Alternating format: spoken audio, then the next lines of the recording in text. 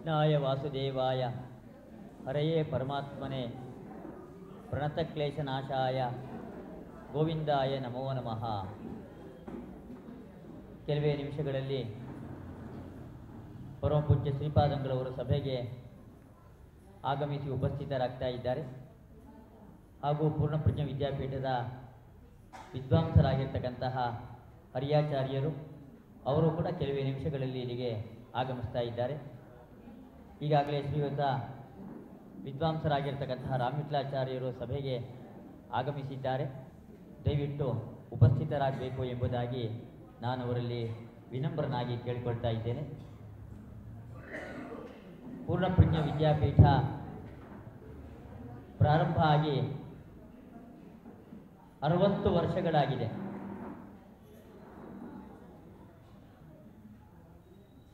ಬಂದ್ರ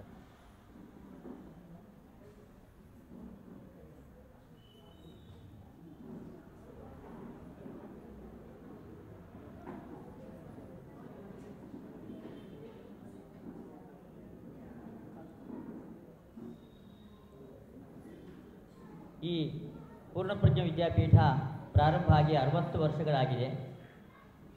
ಅರವತ್ತು ವರ್ಷಗಳಾದ ಶುಭ ಸಂದರ್ಭದಲ್ಲಿ ಬೆಂಗಳೂರಿನ ಹಲವಾರು ಬಡಾವಣೆಗಳಲ್ಲಿ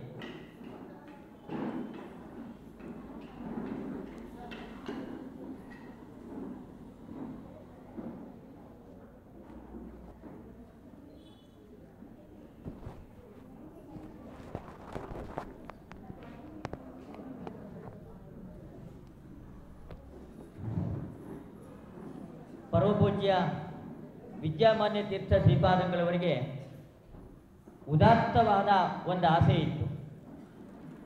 ವ್ಯಾಸರಾಜ ತೀರ್ಥ ಶ್ರೀಗಳವರು ವಿಜಯನಗರ ಸಾಮ್ರಾಜ್ಯ ಹಂಪೆಯಲ್ಲಿ ಭಾರಿ ದೊಡ್ಡ ಮಟ್ಟದ ಗುರುಕುಲವನ್ನು ಅವರು ನಡೆಸ್ತಾ ಇದ್ದರು ಅವರ ಗುರುಕುಲದಲ್ಲಿ ಅನೇಕ ಮಂದಿ ಯತಿಗಳು, ದಾಸರುಗಳು, ವಿದ್ಯಾರ್ಥಿಗಳು ಶಾಸ್ತ್ರಾಧ್ಯಯನಕ್ಕೋಸ್ಕರವಾಗಿ ಅಲ್ಲಿ ಬಂದು ನೆಲೆಸ್ತಾ ಇದ್ರು. ಬಂದಿರೋರಿಗೆಲ್ಲರಿಗೂ ಕೂಡ ವ್ಯಾಸರಾಜರು ಶಾಸ್ತ್ರ ಅಧ್ಯಯನದ ಒಂದು ದೊಡ್ಡ ಅವಕಾಶವನ್ನು ಕಲ್ಪಿಸಿಕೊಟ್ಟಿದ್ರು. ಹಾಗೆ ತಾವು ಕೂಡ ಒಂದು ದೊಡ್ಡ ಮಟ್ಟದಲ್ಲಿ ಗುರುಕುಲವನ್ನು ನಡೆಸಬೇಕು.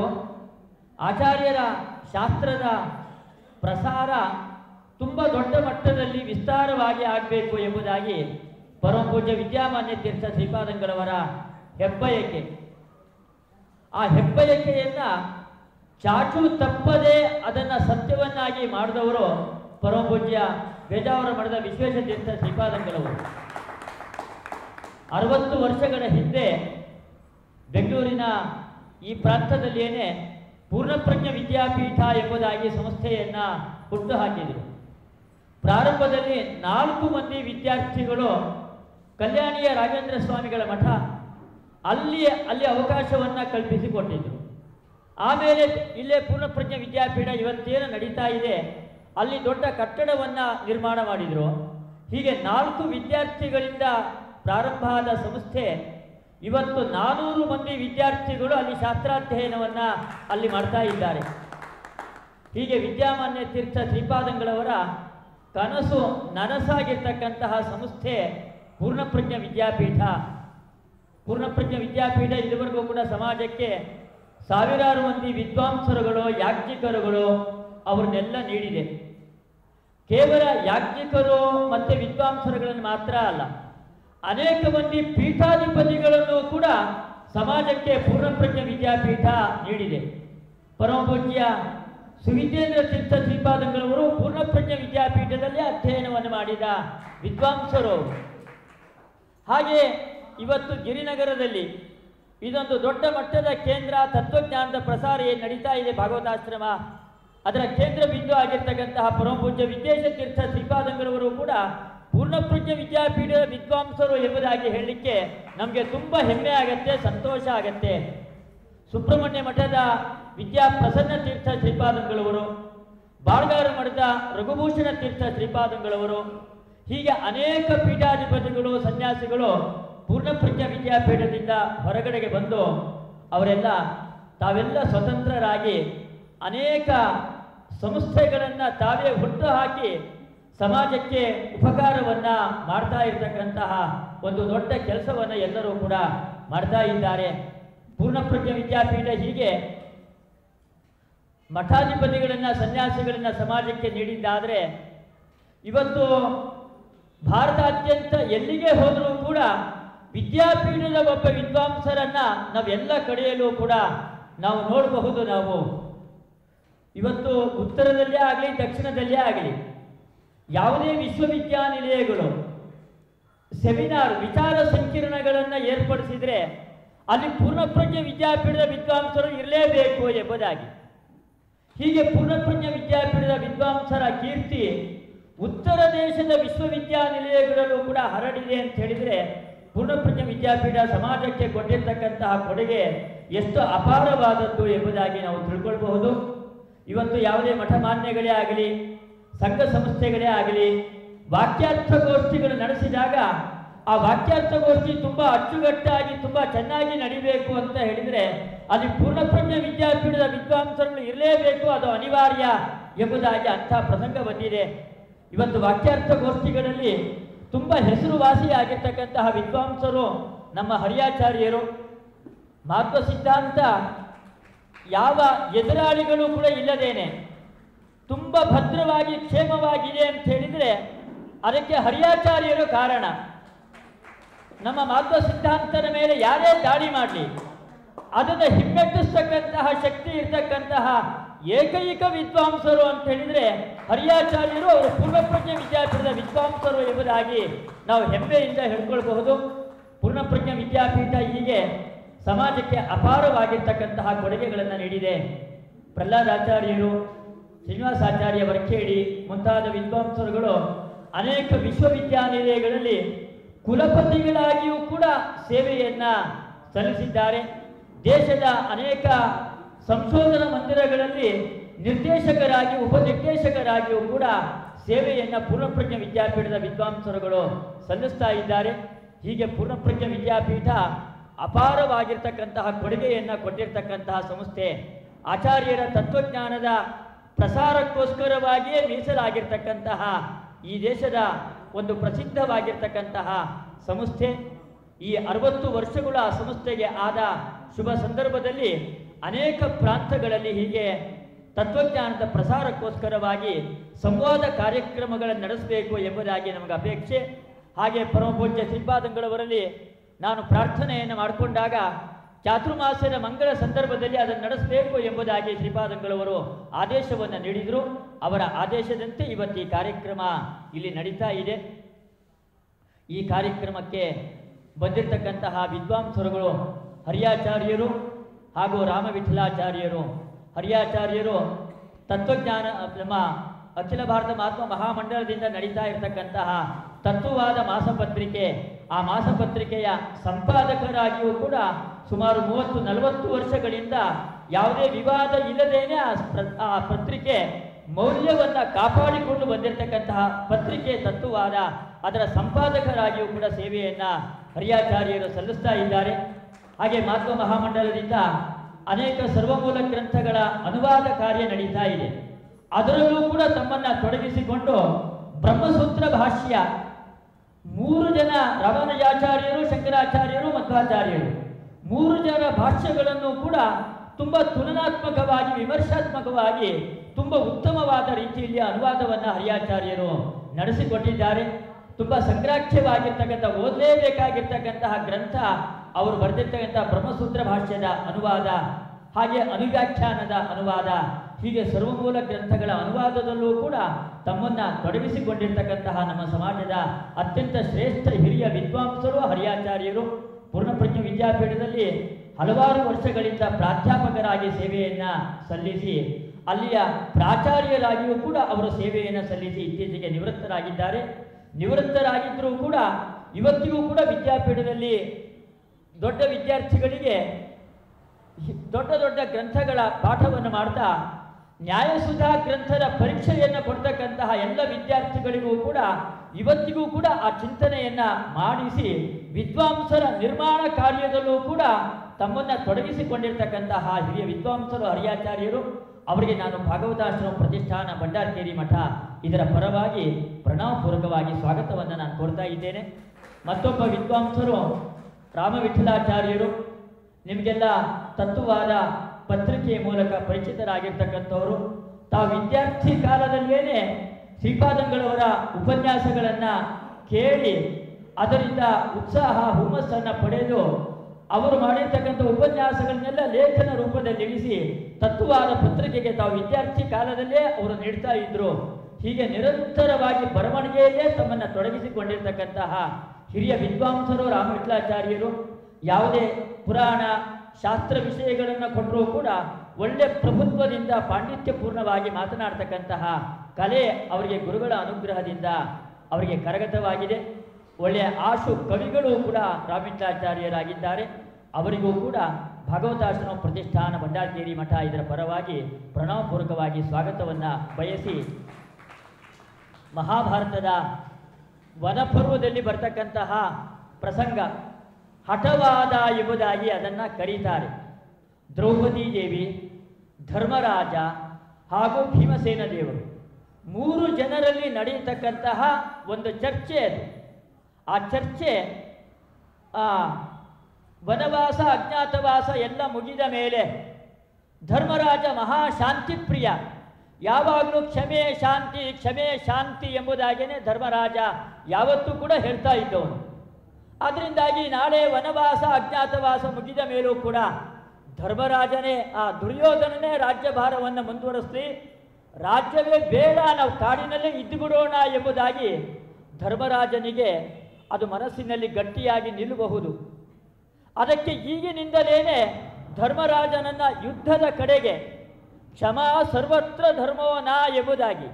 ಎಲ್ಲ ಕಡೆಯಲ್ಲೂ ಕೂಡ ದುರ್ಜನರಲ್ಲೂ ಕೂಡ ಕ್ಷಮೆಯನ್ನು ಯಾವತ್ತೂ ಕೂಡ ಮಾಡಬಾರ್ದು ಎಂಬುದಾಗಿ ಅವನನ್ನು ಯುದ್ಧದ ಸನ್ನದ್ಧತನ್ನಾಗಿ ಮೊದಲಿಂದಲೇ ಮಾಡಬೇಕು ಎಂಬುದಾಗಿ ಈ ಒಂದು ಚರ್ಚೆ ಭೀಮಸೇನ, ದ್ರೌಪದಿ, ಧರ್ಮರಾಜ ಇವರ ಮಧ್ಯದಲ್ಲಿ ನಡೆಯತಕ್ಕಂತಹ ಚರ್ಚೆ. ಆ ಚರ್ಚೆಯ ಬಗ್ಗೆ ಪ್ರಾರಂಭದಲ್ಲಿ ರಾಮವಿಠಲಾಚಾರ್ಯರು ಆಮೇಲೆ ಹರಿಯಾಚಾರ್ಯ ಇಬ್ಬರೂ ಕೂಡ ಸಂವಾದ ರೂಪದಲ್ಲಿ ಕಾರ್ಯಕ್ರಮವನ್ನು ನಡೆಸಿಕೊಡಬೇಕು ಎಂಬುದಾಗಿಯೂ ಕೂಡ ನಾನು ಅವರಲ್ಲಿ ವಿನಮ್ರನಾಗಿ ನಾನು ಕೇಳಿಕೊಳ್ತಾ ಇದ್ದೇನೆ.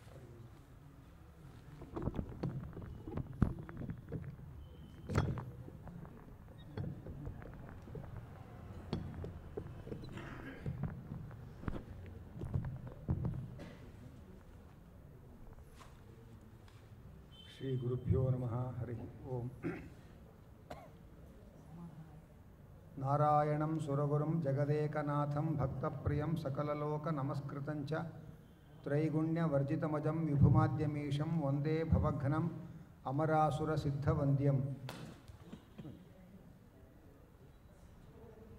ಪೂರ್ಣಪ್ರಜ್ಞ ವಿದ್ಯಾಪೀಠದ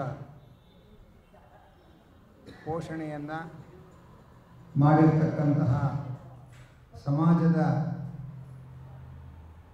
ಜನರ ಮುಂದೆ ವಿದ್ಯಾಪೀಠದ ಅರವತ್ತನೇ ವರ್ಷದ ಒಂದು ವೈಭವದ ಅಭಿವೃದ್ಧಿಯ ಆನಂದವನ್ನು ಹಂಚಿಕೊಳ್ಳುವ ಕಾರ್ಯಕ್ರಮವಾಗಿ ನಗರದ ಅನೇಕ ಬಡಾವಣೆಗಳಲ್ಲಿ ವಿದ್ಯಾಪೀಠದ ಕಡೆಯಿಂದ ವಿದ್ವಾಂಸರು ಹೋಗಿ ಅಲ್ಲಿ ಪ್ರಶ್ನೋತ್ತರ ಸಂವಾದಗಳು ಮೊದಲಾದ ಸಂಗತಿಗಳನ್ನು ನಡೆಸಿದ್ದಾರೆ. ಒಮ್ಮೆ ವಿದ್ಯಾಪೀಠದ ವಾರ್ಷಿಕೋತ್ಸವದ ಸಂದರ್ಭದಲ್ಲಿ ಗಲಗಲಿ ಪಂಡರಿನಾಥಾಚಾರ್ಯರು ಮಾತನಾಡ್ತಾ ಒಂದು ಮಾತು ಹೇಳಿದರು. ಕೃಷ್ಣ ಗೋವರ್ಧನ ಪರ್ವತ ಎತ್ತಿದಾಗ ಜೊತೆಗಿದ್ದ ಗೋಪಾಲಕರು ಒಂದೊಂದು ಕಡ್ಡಿ ಹಿಡ್ಕೊಂಡು ಅವರು ಕೈ ಇಟ್ಕೊಂಡ್ರಂತೆ ನಾವು ಗೋವರ್ಧನ ಪರ್ವತ ಎತ್ತಿದ್ದೇವೆ ಅಂತ. ಹಾಗೆ ಪೇಜಾವರ ಶ್ರೀಪಾದಂಗಳವರು ಮತ್ತು ಅವರ ಗುರುಗಳಾದ ವಿದ್ಯಾಮಾನ್ಯ ತೀರ್ಥರು ಆ ಗೋವರ್ಧನ ಪರ್ವತವನ್ನು ಎತ್ತಿ ಹಿಡಿದಿದ್ದಾರೆ. ನಾವೆಲ್ಲ ಕೊಡುಗೆಗಳನ್ನು, ಕಾಣಿಕೆಗಳನ್ನು ಅರ್ಪಿಸಿ ನಾವು ವಿದ್ಯಾಪೀಠ ಎತ್ತಿದ್ದೇವೆ ಅಂತ ಭಾವಿಸ್ತೇವೆ ಅಂತ ಪಂಡರಿನಾಥಾಚಾರ್ಯರು ತಮ್ಮ ಪ್ರವಚನದಲ್ಲಿ ಹೇಳಿದರು. ಪೂಜ್ಯ ಪೇಜಾವರ ಶ್ರೀಪಾದಂಗಳವರು ಅದಕ್ಕೆ ಪ್ರತಿಕ್ರಿಯೆ ಕೊಡ್ತಾ, ಇದು ಕೃಷ್ಣ ಗೋವರ್ಧನ ಪರ್ವತ ಎತ್ತಿದ ಹಾಗಲ್ಲ, ರಾಮದೇವರು ಸೇತುವೆ ನಿರ್ಮಾಣ ಮಾಡಿದ ಹಾಗೆ, ಅಲ್ಲಿ ಅಳಿನೂ ಕೂಡ ತನ್ನ ಸೇವೆಯನ್ನು ಸಲ್ಲಿಸಿದೆ, ಎಲ್ಲ ಕಪಿಗಳು ಕೂಡ ತಮ್ಮ ತಮ್ಮ ಶಕ್ತಿಯಾನುಸಾರ ಬಂಡೆಗಳನ್ನು ತಂದಿಟ್ಟು ಸೇತುವೆಯನ್ನು ನಿರ್ಮಾಣ ಮಾಡಲಿಕ್ಕೆ ಸಹಕರಿಸಿದೆ. ಆದ್ದರಿಂದ ಪೂರ್ಣಪ್ರಜ್ಞ ವಿದ್ಯಾಪೀಠದ ಸ್ಥಾಪನೆ ಬೆಳವಣಿಗೆಯಲ್ಲಿ ನಗರದ ಪ್ರ ಎಲ್ಲ ಸಮಾಜದ ಪ್ರತಿಯೊಬ್ಬ ಸಣ್ಣ ಆರ್ಥಿಕ ಶಕ್ತಿ ಇರತಕ್ಕಂಥವರು, ಬಹಳ ದೊಡ್ಡ ಆರ್ಥಿಕ ಶಕ್ತಿ ಇರತಕ್ಕಂಥವ್ರು, ಎಲ್ಲ ಭಕ್ತರು ಕೈ ಜೋಡಿಸಿ ಇದು ಸ್ಥಾಪನೆಯಾಗಿ ಬೆಳವಣಿಗೆ ಆಗ್ತಾ ಇದೆ ಅಂತ ಪೂಜ್ಯ ಪಿತಾವ ಪಾದಂಗಳವರು ಪ್ರತಿಕ್ರಿಯಿಸಿದರು. ಅಂದರೆ ಅವರ ಅನುಸಂಧಾನ ಎಲ್ಲ ಸಮಾಜದವರು ಇದನ್ನು ಎತ್ತಿ ಹಿಡಿದಿದ್ದಾರೆ.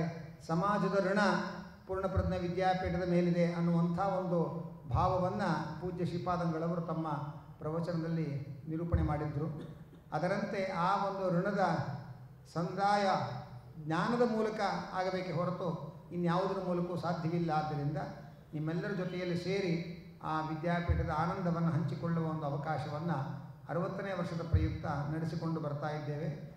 ನಮಗೆಲ್ಲ ಅರವತ್ತನೇ ವರ್ಷ ಆದರೆ ಸ್ವಲ್ಪ ಆತಂಕದ ಸ್ಥಿತಿ ಅದು. ಸಂಸ್ಥೆಗೆ ಅರವತ್ತನೇ ವರ್ಷ ಆದರೆ ಆನಂದದ ಸ್ಥಿತಿ ಅದು. ಹಾಗಾಗಿ ಆನಂದವನ್ನು ಮನೆ ಮನೆಗೆ ಹೇಳಿಕೊಂಡು ಹೋಗುವ ಹೆಮ್ಮೆ ನಮಗೂ ಒಂದಿದೆ ಅನ್ನುವುದನ್ನು ನಾವು ಈ ಸಂದರ್ಭದಲ್ಲಿ ತಿಳಿಸಿಕೊಳ್ತಾ ಇದ್ದೀವಿ. ಮಹಾಭಾರತದ ಒಂದು ರೋಚಕ ಪ್ರಸಂಗ ಇವತ್ತಿನ ಸಂವಾದದ ವಿಷಯವಾಗಿದೆ. ಅನೇಕ ಹೆಣ್ಮಕ್ಕಳಿಗೆ ಅನಿಸುವಂತಹ ಭಾವಗಳು.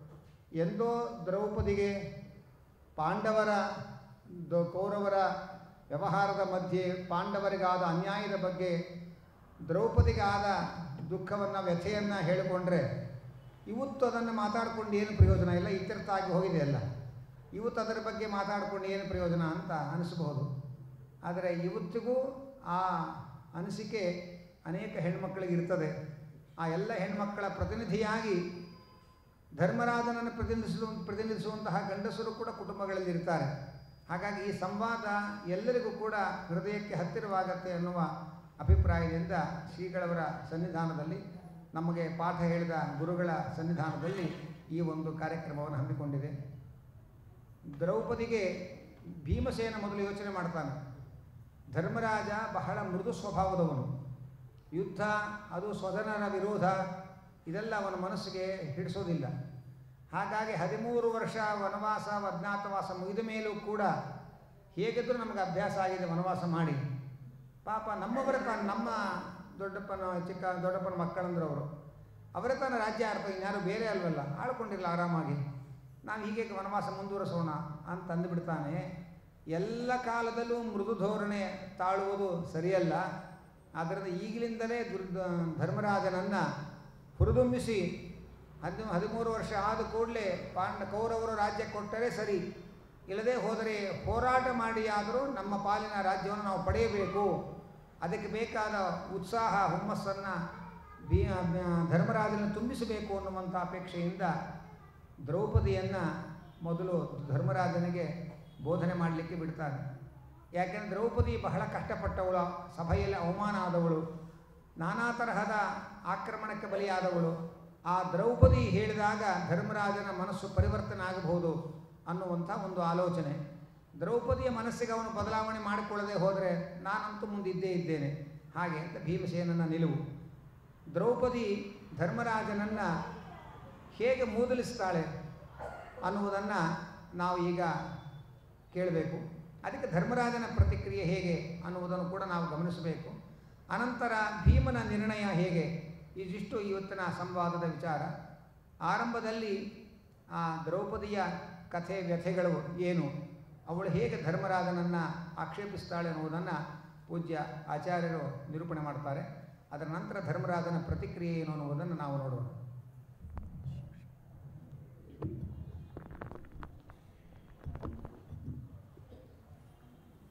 ಶ್ರೀ ಗುರು ಪರಮ ಪೂಜ್ಯ ವಿದ್ಯೇಶತೀರ್ಥ ಶ್ರೀಪಾದಂಗಳವರ ಅನುಗ್ರಹವನ್ನು ಬಯಸಿ ಸಾಷ್ಟಾಂಗ ಪ್ರಣಾಮವನ್ನು ಮಾಡಿ ಶ್ರೀಗಳವರ ಮುಂದೆ ಭಾಗವತವನ್ನು ಮಹಾಭಾರತವನ್ನು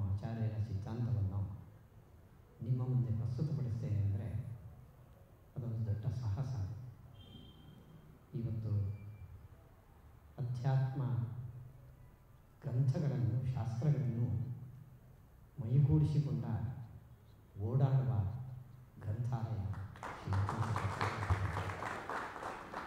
ಆದರೂ ನಮ್ಮಲ್ಲಿ ಬಾಯಿ ಸ್ವಲ್ಪ ಜೋರಾಗಿದೆ ಅನ್ನೋ ಕಾರಣದಿಂದ ವಿದ್ಯಾಮಾನ್ಯರು ಹಾಗೇ ಮಾಡ್ತಾ ಇದ್ದರು ದೊಡ್ಡ ವಿದ್ವಾಂಸರವರು ವಿದ್ವಾಂಸರನ್ನ ಮೇಲ್ಗಡೆ ಕೂರಿಸಿ ಅವರಿಂದ ಪ್ರವಚನ ಮಾಡಿಸಿ ತಾವು ಕೆಳಗಡೆ ಚೇರ್ ಹಾಕೊಂಡು ಹೋ ಅಂತ ಹೇಳ್ತಾರೆ ಅದು ವಿದ್ಯಾವಂತರಿಗೆ ಬೇಕಾದ ವಿನಯದ ಭೂಷಣ ಆದ್ದರಿಂದ ಅವರ ಅನುಮತಿಯನ್ನು ಪಡೆದು ಮಹಾಭಾರತದಲ್ಲಿ ದ್ರೌಪದಿಯ ಮಾತುಗಳನ್ನು ನನಗೆ ತಿಳಿದ ವಿಷಯಗಳಲ್ಲಿ ನಾನು ನಿರೂಪಣೆ ಮಾಡೋದಕ್ಕೆ ಅವರನ್ನು ಮತ್ತೊಮ್ಮೆ ಹೆಚ್ಚು ಕೇಳಿಕೊಳ್ತೇನೆ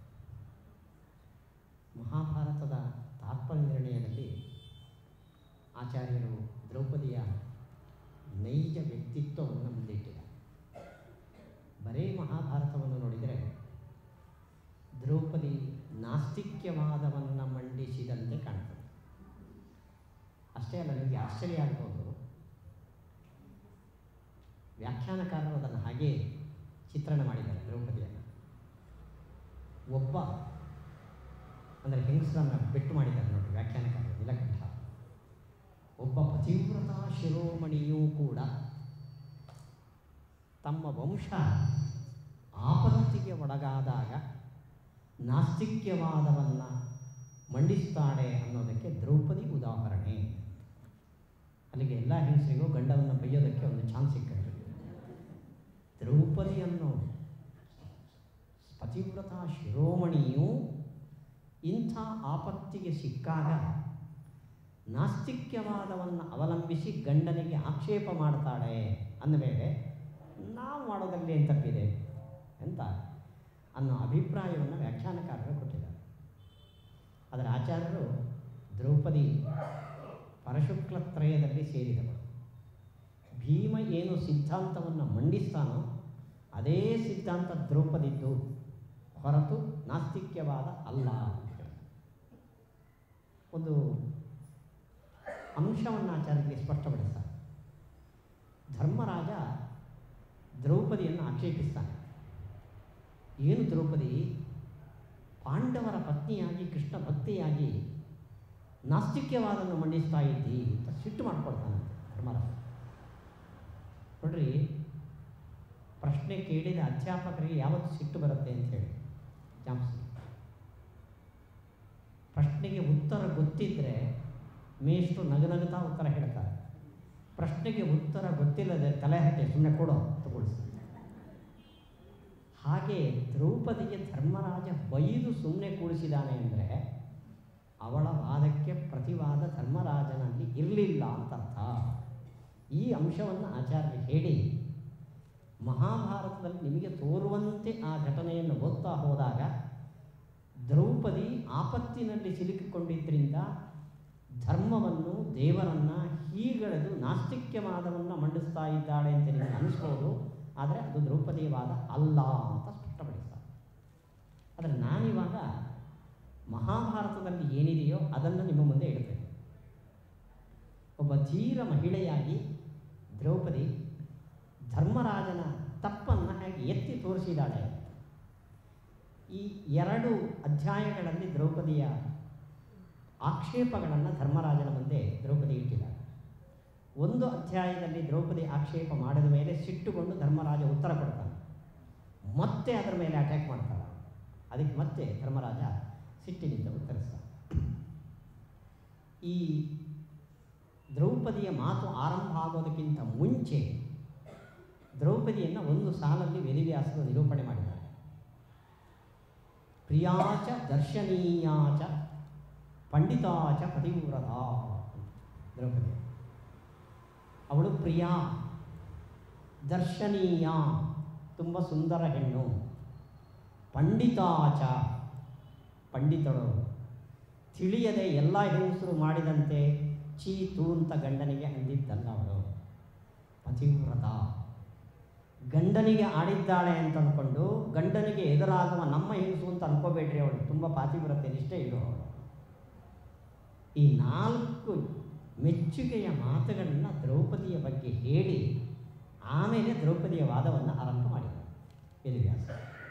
ಅಲ್ಲಿಗೆ ವೇದವ್ಯಾಸರ ಅಭಿಪ್ರಾಯ ದ್ರೌಪದಿ ಆಪತ್ತಿಗೆ ಸಿಲುಕಿ ಏನೇನೋ ಮಾತಾಡ್ತಾ ಇದ್ದಾಳೆ ಅಂತ ಅರ್ಥ ಇಲ್ಲಿ ದ್ರೌಪದಿಯನ್ನು ಆಡು ಅಂತ ಮೇಲಕ್ಕೆ ಎತ್ತಿ ಕೂಡಿಸಿದವನೇ ಭೀಮಸೇನ. ಯಾಕೆ ಅವನು ನೇರವಾಗಿ ಅಣ್ಣನನ್ನು ಆಕ್ಷೇಪಿಸುವ ಬದಲು ಹೆಂಡತಿಯನ್ನು ಯಾಕೆ ಬಿಟ್ಟ ಯಾಕೆ ಬಿಟ್ಟ ಅಂದರೆ ಈ ಘಟನೆಯಲ್ಲಿ ಜೂಜಿನ ಪ್ರಸಂಗದಲ್ಲಿ ಇವರಿಗೆಲ್ಲ ಆಗುವ ಆಗಿರುವ ಅವಮಾನಕ್ಕಿಂತಲೂ ದ್ರೌಪದಿಗೆ ಆಗಿರುವ ಅವಮಾನ ದೊಡ್ಡದು. ಭೀಮಸೇನ ಅದನ್ನು ಹೇಳ್ತಾನೆ, ಅಣ್ಣ, ನೀನು ಮಾಡಿದ ಎಲ್ಲ ತಪ್ಪನ್ನು ನಾನು ಕ್ಷಮಿಸಬಲ್ಲೆ, ನುಂಗಿಕೊಳ್ಳಬಲ್ಲೆ. ಇಮಾಂ ನೆಸ್ತವತೋ ದ್ಯೂತೆ ದಕ್ಷಿಣೀಯೋ ಹಿತೇ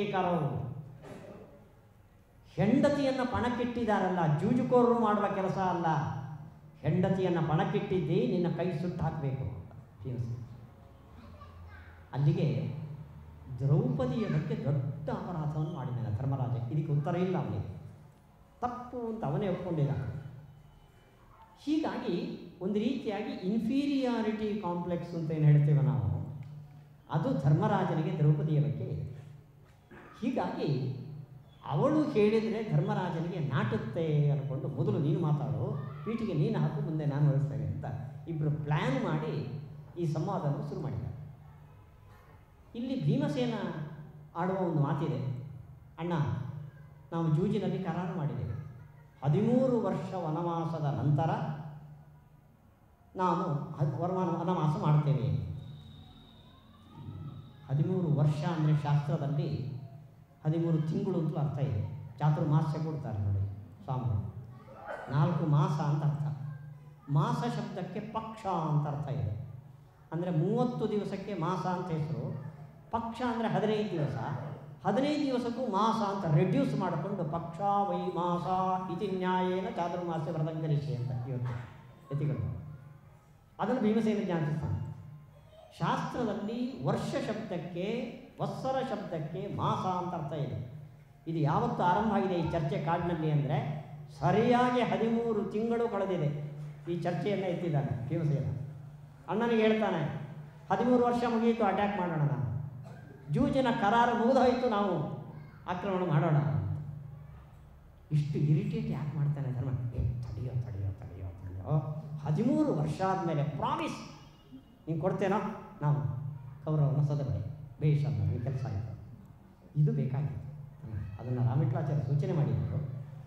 ಆದ್ದರಿಂದ ಈ ಗಂಡ, ಹೆಂಡತಿ, ದ್ರೌಪದಿ ಮತ್ತು ಭೀಮಸೇನ ಈ ಸಂವಾದವನ್ನು ಆರಂಭ ಮಾಡುವ ಉದ್ದೇಶವೇ ಧರ್ಮರಾಜ ಧರ್ಮಪ್ರಿಯನಾದವನು ಹೀಗಾಗಿ ಇಲ್ಲೇ ಕಾಡಿನಲ್ಲೇ ಕ್ಷತ್ರಿಯ ವೃತ್ತಿಯನ್ನು ಬಿಟ್ಟು ಋಷಿ ವೃತ್ತಿಗೆ ಇಳಿದು ಅವನು ಹಾಳಾಗ್ತಾನೆ ಅಂತ ಅನ್ನೋ ದೃಷ್ಟಿಯಿಂದ ರಾಜ್ಯದಾಸ ಅಲ್ಲ, ಅವನು ಹಾಳಾಗ್ತಾನೆ ಅನ್ನೋ ದೃಷ್ಟಿಯಿಂದ ಅವನಿಗೆ ಮುಂದೆ ಹದಿಮೂರು ವರ್ಷವಾದ ಕೂಡಲೇ ಕೌರವರ ಮೇಲೆ ಆಕ್ರಮಣ ಮಾಡ್ತೇವೆ ಅನ್ನೋ ಪ್ರತಿಜ್ಞೆಯನ್ನು ಮಾಡಿಸಬೇಕಾದ್ದು ಈ ಸಂವಾದದ ಮುಖ್ಯ ಉದ್ದೇಶ.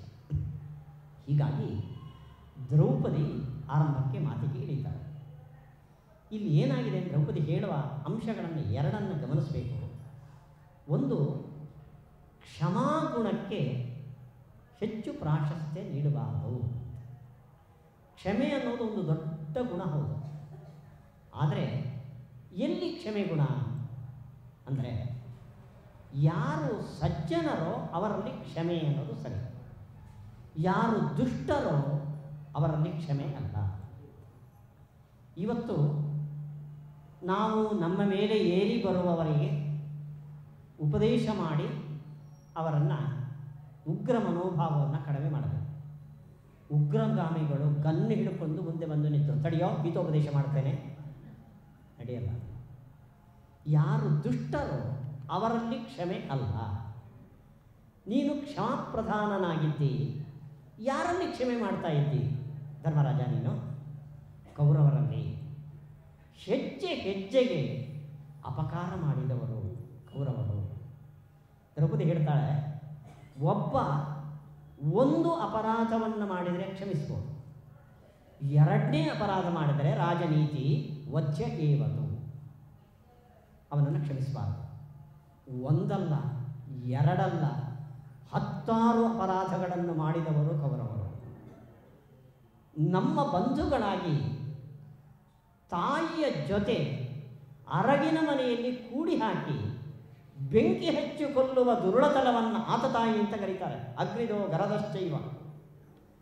ಇಷ್ಟು ದೊಡ್ಡ ಕ್ರೂರತರವನ್ನು ಮೆರೆದ ಕೌರವರಿಗೆ ಜೂಜಿನಲ್ಲಿ ಮಾಡಿದ ಕರಾರು ಕರಾರು ಕರಾರು ಅಂತ ನಾವು ತರಬೇಕಾ ದುರ್ಯೋಧನ, ಇವರು ಬಂಧುಗಳು, ನಮಗೆ ಅಪರಾಧ ಮಾಡಿಲ್ಲ. ತಂದೆ ಮಕ್ಕಳು ಯಾವತ್ತಾದರೂ ಕ್ಷಮಿಸಿದ್ನ ಯಾವ ದಾಕ್ಷಿಣ್ಯವೂ ಇಲ್ಲದೆ ನಮಗೆ ಅಪಕಾರ ಮಾಡಿದ್ದಾರೆ ಹೆಜ್ಜೆ ಹೆಜ್ಜೆಗೂ, ಅವರಲ್ಲಿ ನಾವು ಕ್ಷಮೆ ಮಾಡಬೇಕಾ? ಅನ್ನೋ ಮಾತನ್ನು ದ್ರೌಪದಿ ಆಡ್ತಾಳೆ ಇನ್ನು ಅವಳ ಮಾತಿನಲ್ಲಿ ಕಾಣುವ ಇನ್ನೊಂದು ಅಂಶ, ನೋಡು ಧರ್ಮರಾಜ, ನೀನೊಬ್ಬ ಕ್ಷತ್ರಿಯ. ನೀನು ಭೀಷ್ಮಾಚಾರ್ಯರು ಕೊಟ್ಟಂತೆ ರಾಜ್ಯವನ್ನು ವಿಭಾಗ ಮಾಡಿ, ನೀನು ಇಂದ್ರಪ್ರಸ್ಥದ ರಾಜನಾಗಿದ್ದವ. ಎಂಥ ಕ್ಷತ್ರಿಯ ವೃತ್ತಿಯಲ್ಲಿ ನಿನ್ನ ಧರ್ಮದಲ್ಲಿ ನೀನು ಇದ್ದವ? ಬೆಳಿಗ್ಗೆ ಏಳಬೇಕಾದರೆ ಒಂದಿ ಮಾಗನರು ಬಂದು ಸ್ತುತಿ ಮಾಡಿ, ಆ ವೈಭವದ ರಾಜಕಾರಣದಲ್ಲಿ ಸುಖದ ಸುಪ್ಪತ್ತಿಗೆಯಲ್ಲಿ ನೆರೆದವ. ಇವತ್ತು ನೀನು ಕಾಡಿನಲ್ಲಿ ಏಳೋದು ನರಿಗಳ ಕೂಗಿಗೆ, ಮಲ್ಕೊಳ್ಳೋದು ಒರಟು ಬಂಡೆಯ ಮೇಲೆ. ಇದು ಒಬ್ಬ ಕ್ಷತ್ರಿಯನಿಗೆ ಯೋಗ್ಯನೋ? ಅರ್ಜುನ, ಎಂತಹ ಪರಾಕ್ರಮಿಯಾದ ಅವನಿಗೆ ಧನಂಜಯ ಅಂತ ಹೆಸರು. ರಾಜಸೂಯ ಯಾಗದ ಸಂದರ್ಭದಲ್ಲಿ ಇಡೀ ಈ ಭೂಮಂಡಲವನ್ನು ಸುತ್ತಾಡಿ ಎಲ್ಲ ರಾಜರನ್ನು ಮಣಿಸಿ ದ್ರವ್ಯದ ರಾಶಿ ರಾಶಿ ಹಾಕಿ ಹೇಗೆ ಅಂತ ಬೀಸಿ ತಿರುಗಿಸ್ತಾ ಇದ್ದವನಂತೆ ಧನಂಜಯ ಅಂತ ಹೆಸರು ಬಂತು. ಇಂಥ ವ್ಯಕ್ತಿ ನಿನ್ನ ಅಪರಾಧದಿಂದ ಇವತ್ತು ಕಾಡಿನಲ್ಲಿ ಗೆಡ್ಡೆ ಗೆಣಸುಗಳನ್ನು ತಿನ್ಕೊಂಡು ಒಬ್ಬ ಬೇಟೆಗಾರನ ಥರ ಜೀವನ ನಡೆಸುವ ಪರಿಸ್ಥಿತಿ ಬಂತು. ಇದು ತಪ್ಪಲ್ಲ ಒಬ್ಬ ಕ್ಷತ್ರಿಯನಾದವನು ತನ್ನ ವೃತ್ತಿಗೆ ವಿರುದ್ಧವಾಗಿ ಇಂಥ ಜೀನ ಸ್ಥಿತಿಯಲ್ಲಿ ಅರಣ್ಯದಲ್ಲಿ ಇರುವಂತೆ ಆದರೆ ಇದಕ್ಕೆ ಹೊಣೆ ಆಗಬೇಕು ನಿನ್ನ ಅಪರಾಧ. ಜೂಜಿನಲ್ಲಿ ನೀನು ಹಾಕಿದ ಕರಾರಿಗೆ ಜೀರರಾದ ನಿನ್ನ ಅಣ್ಣ ತಮ್ಮಂದಿರು, ನಿನ್ನ ತಮ್ಮಂದಿರು ಇಂಥ ಹೀನವಾದ, ತಮಗೆ ಯೋಗ್ಯವಲ್ಲದ ಜೀವನ ನಡೆಸುವ ವೃತ್ತಿಗೆ ಹಿಡಿದಿದ್ದಾರೆ ಇದನ್ನು ನೋಡಿಯೂ ನಿನ್ನ ಮನಸ್ಸು ಕರಗೋದಿಲ್ವೋ? ದುರ್ಯೋಧನಿಗೆ ಅಪಕಾರ ಮಾಡಬೇಕು ಅಂತ ಅನಿಸಲ್ವೋ? ತನ್ನನ್ನು ಕೇಳ್ಕೊಳ್ತಾಳೆ ನೋಡು, ನನ್ನ ಭಾಗ್ಯ ಎಂಥದ್ದು ಸುಷ ಸುಶಾಹಿ ಪಾಂಡುಪುತ್ರಸ್ಯ, ಪಾಂಡವನ ಸೊಸೆ ನಾನು ದೃಪದನ ಮಗಳು ದೃಷ್ಟದ್ಯುಮ್ನನ ತಂಗಿ, ಒಂದಲ್ಲ, ಎರಡಲ್ಲ, ವೀರಾಧಿವೀರರಾದ ಐದು ಮಂದಿ ಗಂಡಂದಿರು ನನಗಿದ್ದಾರೆ ಧರ್ಮರಾಜ, ನನ್ನ ಸ್ಥಿತಿಯನ್ನು ಯೋಚನೆ ಮಾಡು. ದೃಪದ ರಾಜ ಅಂದರೆ ಆವತ್ತಿನ ಕಾಲದಲ್ಲಿ ಪರಾಕ್ರಮಕ್ಕೆ ಮತ್ತೊಂದು ಹೆಸರು. ಕೌರವರಿಗೆ ವಿರುದ್ಧವಾದ ಕುರುದೇಶಕ್ಕೆ ಶತ್ರುಗಳೆನಿಸಿದ ಒಂದು ದೊಡ್ಡ ಬಲವತ್ತಾದ ಗುಂಪು ಅದು ದೃಪದ ರಾಜ. ಕಟ್ಟಿದ್ದ ಮಹಾಭಾರತ ಯುದ್ಧವನ್ನು ಕುರು ಪಾಂಚಾಲ ಯುದ್ಧ ಅಂತ ಹೇಳ್ತಾರೆ ವೇದವ್ಯಾಸ ಕೌರವರಿಗೂ ಪಾಂಚಾಲರಿಗೂ ನಡೆದ ಯುದ್ಧ ಅದು ಪಾಂಡವರು ಕೌರವರ ಯುದ್ಧ ಅಂತ ಹೇಳೋದರ ಜೊತೆಗೆ ಈ ಮಾತನ್ನಾಡಿದ್ದಾರೆ. ಅಷ್ಟು ಪರಾಕ್ರಮಿಯಾದವರು ದೃಪದ ಅವನ ಮಗಳು ಈ ದ್ರೌಪದಿ. ದುಷ್ಟದ್ಯುಮ್ನ ನನ್ನಂತೆ ಅಗ್ನಿಯಿಂದ ಹುಟ್ಟಿ ಬಂದ ಪರಾಕ್ರಮಿಯಾದ ದ್ರೋಣಾಚಾರ್ಯರಿಂದ ಶಸ್ತ್ರವಿದ್ಯಾಭ್ಯಾಸವನ್ನು ಪಡೆದ ವ್ಯಕ್ತಿ ಅವನ ತಂಗಿ ದ್ರೌಪದಿ. ಐದು ಮಂದಿ ವೀರಾಧಿ ವೀರರಾಗಿದ್ದ ನಿಮ್ಮ ಕೈ ಹಿಡಿದ ಸತಿ ಶಿಖಾಮಣಿ ದ್ರೌಪದಿ. ಈ ದ್ರೌಪದಿ ನೀವೆಲ್ಲ ನೋಡ್ತಾ ನೋಡ್ತಾ ಇರುವಂತೆ ಹೆಣ್ಣಿಗೆ ಮಾನದ ಸಂಕೇತ ಒಂದು ಹಿಡಿ, ಒಂದು ಮುಡಿ. ದುರುಳ ದುಶಾಸನ ತುಂಬಿದ ಸಭೆಯಲ್ಲಿ ಗುರು ಹಿರಿಯರ ಮುಂದೆ ನಿನ್ನ ಪತ್ನಿ ದ್ರೌಪದಿ ಮುಡಿಗೆ ಕೈ ಹಾಕಿ ಹಿಡಿದು ಎಳೆದನಲ್ಲ, ಈ ಅವಮಾನವನ್ನು ನೋಡಿ ನಿನ್ನ ಮನಸ್ಸು ಕರಗೋದಿಲ್ಲ ಮಹಾರಾಜ. ಇದನ್ನು ನೀನು ಕ್ಷಮಿಸಬೇಕಾ? ಕೌರವರು ಮಾಡಿದ ಅಪರಾಧವನ್ನ? ಹೀಗೆ ಅಣ್ಣ ತಮ್ಮಂದಿರು ತಮ್ಮಂದಿರು, ಪತ್ನಿ, ಇಷ್ಟು ಜನರಿಗೂ ಆಗುವ ಅವಮಾನಕ್ಕೆ ಕಾರಣನಾಗಿ ನೀನು ಯಾವ ನೀತಿ ನಿಯಮಗಳೂ ಇಲ್ಲದ, ಹೆಜ್ಜೆ ಹೆಜ್ಜೆಗೆ ಅಪರಾಧ ಮಾಡುವ ಕೌರವರ ಬಗ್ಗೆ ಕ್ಷಮೆಯನ್ನು ಅನುಸರಿಸ್ತಿ ಅಂದರೆ ಇದು ಶಾಸ್ತ್ರಕ್ಕೆ ಸಮ್ಮತವೋ? ಇದು ದ್ರೌಪದಿಯ ಲೌಕಿಕ ದೃಷ್ಟಿಯ ಒಂದು ಪ್ರಶ್ನೆ. ಇನ್ನೊಂದು ಮಾತನ್ನು ಕೇಳ್ತಾಳೆ. ಇಲ್ಲಿ ಉಳಿದ ವ್ಯಾಖ್ಯಾನಕಾರರು ತಪ್ಪು ತಿಳುವಳಿಕೆಯನ್ನು ಗ್ರಹಿಸಿದರು. ನೀನು ಧರ್ಮ, ಭವಾನ್ ಧರ್ಮೋ ಧರ್ಮ ಇತಿ ಧರ್ಮ ಧರ್ಮ ಧರ್ಮ ಧರ್ಮ ಅಂತ ಧರ್ಮಕ್ಕೆ ತಲೆಬಾಗಿ ಧರ್ಮರಾಜ ಅಂತ ಹೆಸರಿಟ್ಕೊಂಡು ಕ್ಷಮಾಗುಣವನ್ನು ಅನುಸರಿಸಿದಿ. ಏನು ಕೊಡ್ತು ನಿನಗೆ ಧರ್ಮ? ನೀನು ಕಾಡಲ್ಲಿ. ದುರ್ಯೋಧನ, ಧರ್ಮ ಇಲ್ಲ, ದೇವರಿಲ್ಲ ದಿಂಡ್ರಿಲ್ಲಿ ಅಂತ ನಾಸ್ತಿಕವಾದವನ್ನು ಮಂಡಿಸುವವ. ಅವನೆಲ್ಲಿದ್ದಾನೆ? ಕುರುಕುಲದ ಸಿಂಹಾಸನದಲ್ಲಿ ಸುಖದ ಭೋಗದ ತುಪ್ತ ತುದಿಯಲ್ಲಿ ಮೆರೀತಾ ಇದ್ದಾನೆ. ಬೇಕ ಈ ಧರ್ಮ ನಿನಗೆ? ನಿನ್ನ ಧರ್ಮ ನಿನಗೆ ಏನು ಕೊಡ್ತು ಹೇಳು. ಆದ್ದರಿಂದ ದುಷ್ಟರಲ್ಲಿ ಧರ್ಮದ ಬಗ್ಗೆ ಕಟ್ಟು ಬಿದ್ದು ನಿನ್ನ ಸ್ಥಿತಿಯನ್ನು ನೀನು ಯೋಚನೆ ಮಾಡ್ಕೋ. ಧರ್ಮಕ್ಕೆ ಬೆನ್ನು ಹಾಕಿ ಭೋಗ ಜೀವನವನ್ನು ಪ್ರಧಾನವನ್ನಾಗಿ ಇಟ್ಟುಕೊಂಡ ದುರ್ಯೋಧನನನ್ನು ಒಂದು ಸತಿ ನೋಡ್ಕೋ. ದುರ್ಯೋಧನನ ಥರ ಆಗೋದಕ್ಕೆ ಪ್ರಯತ್ನ ಪಡು. ಧರ್ಮವನ್ನು ಕೈ ಅಂತ ಹೇಳುವಂತೆ ದ್ರೌಪದಿಯ ಮಾತು ಕಾಣಿಸ್ತದೆ. ಇದು ದ್ರೌಪದಿ ಬೇಕು ಅಂತ ಧರ್ಮರಾಜನನ್ನು ಕೆರಳಿಸೋದಕ್ಕೋಸ್ಕರ ಆಡಿದ ಮಾತು. ಇನ್ನೊಂದು ಮಾತನ್ನಾಡ್ತಾಳೆ ಅವಳು ಕೊಟ್ಟ ಉದಾಹರಣೆ ನಾವು ಆಚಾರ್ಯರ ಭಾಷ್ಯದಲ್ಲೂ ಕೂಡ ಇದನ್ನು ಉಲ್ಲೇಖ ಮಾಡ್ತಾರೆ. ಯಥಾ ದಾರುಮಯೀಂ ಯೋಷಾಂ ನರಸ್ಥಿರ ಸಮಾಹಿತ ಇಂಗಯತ್ಯಂಗಮಂಗಾನಿ ತಥಾ ರಾಜನ್ನಿಮಾ ಪ್ರಜಾ. ನಮ್ಮಿಂದ ಏನು ಕೆಲಸ ನಡೀತದೋ ಅದೆಲ್ಲ ಅವನ ಅಧೀನ. ಇದು ಶಾಸ್ತ್ರ ಇದೆ. ಒಂದು ಮರದ ಬೊಂಬೆಯನ್ನು ಸೂತ್ರ ಹಿಡಿದು ಸೂತ್ರಧಾರ ಆಡಿಸುವಂತೆ ನಮ್ಮ ಕೈಕಾಲುಗಳನ್ನು, ಇಂದ್ರಿಯಗಳನ್ನು, ಕರ್ಮ ಜ್ಞಾನೇಂದ್ರಿಯಗಳನ್ನು ಹಿಡಿದು ಒಳಗಡೆ ನಿಯಂತ್ರಿಸುವ ಒಬ್ಬ ದೇವ ನಮ್ಮಿಂದ ಆಗಬೇಕಾದ್ದು ಆಗಬಾರದು ಎಲ್ಲವನ್ನು ಮಾಡಿಸುವವನು ಅವನು. ದ್ರೌಪದಿ ಕೇಳ್ತಾಳೆ, ಇದು ಶಾಸ್ತ್ರದ ನಿರ್ಣಯ. ಆದರೆ ನಮ್ಮಿಂದ ತಪ್ಪೋ ಒಪ್ಪೋ ಆಗೋದೆಲ್ಲ ಅವನಿಂದ. ಆದರೆ ತಪ್ಪಾದರೆ ಶಿಕ್ಷೆ ನಮಗೆ ಒಪ್ಪಾದರೆ ಸುಖ ನಮಗೆ. ಯಾವ ನ್ಯಾಯ ಇದು ಅಂತ ದ್ರೌಪದಿ. ಎಲ್ಲ ಮಾಡಿಸೋದು ಆ ದೇವ ಅಂತಂದ ಮೇಲೆ ಮರದ ಬೊಂಬೆ ಅದು ತಾಳಕ್ಕೆ ತಕ್ಕಂತೆ ಕುಣಿತಾ ಇರುವಾಗ ತಾಳ ತಪ್ಪಿ ಹೆಜ್ಜೆ ಇಡ್ತು ಅಂದರೆ ಬೊಂಬೆಯನ್ನು ಬೈತಿರೋ ಸೂತ್ರಧಾರನ ಬೈತಿರೋ? ಸೂತ್ರಧಾರನ ತಪ್ಪಿ ಹಾಗೋ? ಹಾಗೆ ನಮ್ಮ ಅಧ್ಯಾತ್ಮವಾದದಲ್ಲಿ ಎಲ್ಲವೂ ದೇವರು ಮಾಡಿಸಿದ್ದು ಅಂತ ಆದ ಮೇಲೆ ನಮ್ಮ ತಪ್ಪಿಗೆ ದೇವರನ್ನು ಬೈಬೇಕಾಗತ್ತೆ, ನಮ್ಮನ್ನು ಹೇಗೆ ಬೈಯೋದು?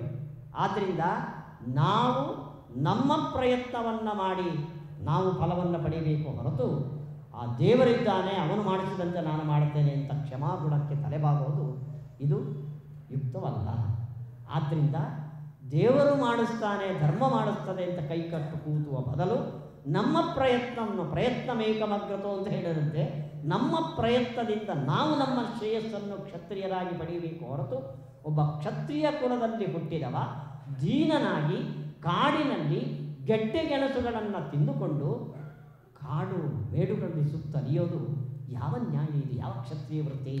ನಿಮಗೆ ನಾಚಿಕೆ ಆಗೋದಿಲ್ಲೋ ಅಂತ ಇನ್ನು ದ್ರೌಪದಿಯ ಇದೇ ಸಂದರ್ಭವನ್ನು ಕೆಲವು ಕಾವ್ಯಗಳನ್ನು ತೆಗೆದುಕೊಂಡು ದ್ರೌಪದಿ ಎಷ್ಟು ಕಠೋರವಾಗಿ ಮಾತಾಡ್ತಾನೆ ಅಂದರೆ ಜಟಾಧರ ಸನ್ ಜುಗುಜೀಹ ಪಾಲಕಂ ನೀನು ಕ್ಷತ್ರಿಯನಾಗಲಿಕ್ಕೆ ನಾಲಾಯಿತು ಗಡ್ಡ ಜಟೆ ಬಿಟ್ಟು ಕಾಡಿನಲ್ಲಿ ಕೂತು ಹೋಮ ಹವನ ಮಾಡ್ತಾ ಕೂತಿರೋ, ಕ್ಷತ್ರಿಯ ವೃತ್ತಿ ನಿನಗೆ ಬೇಡ.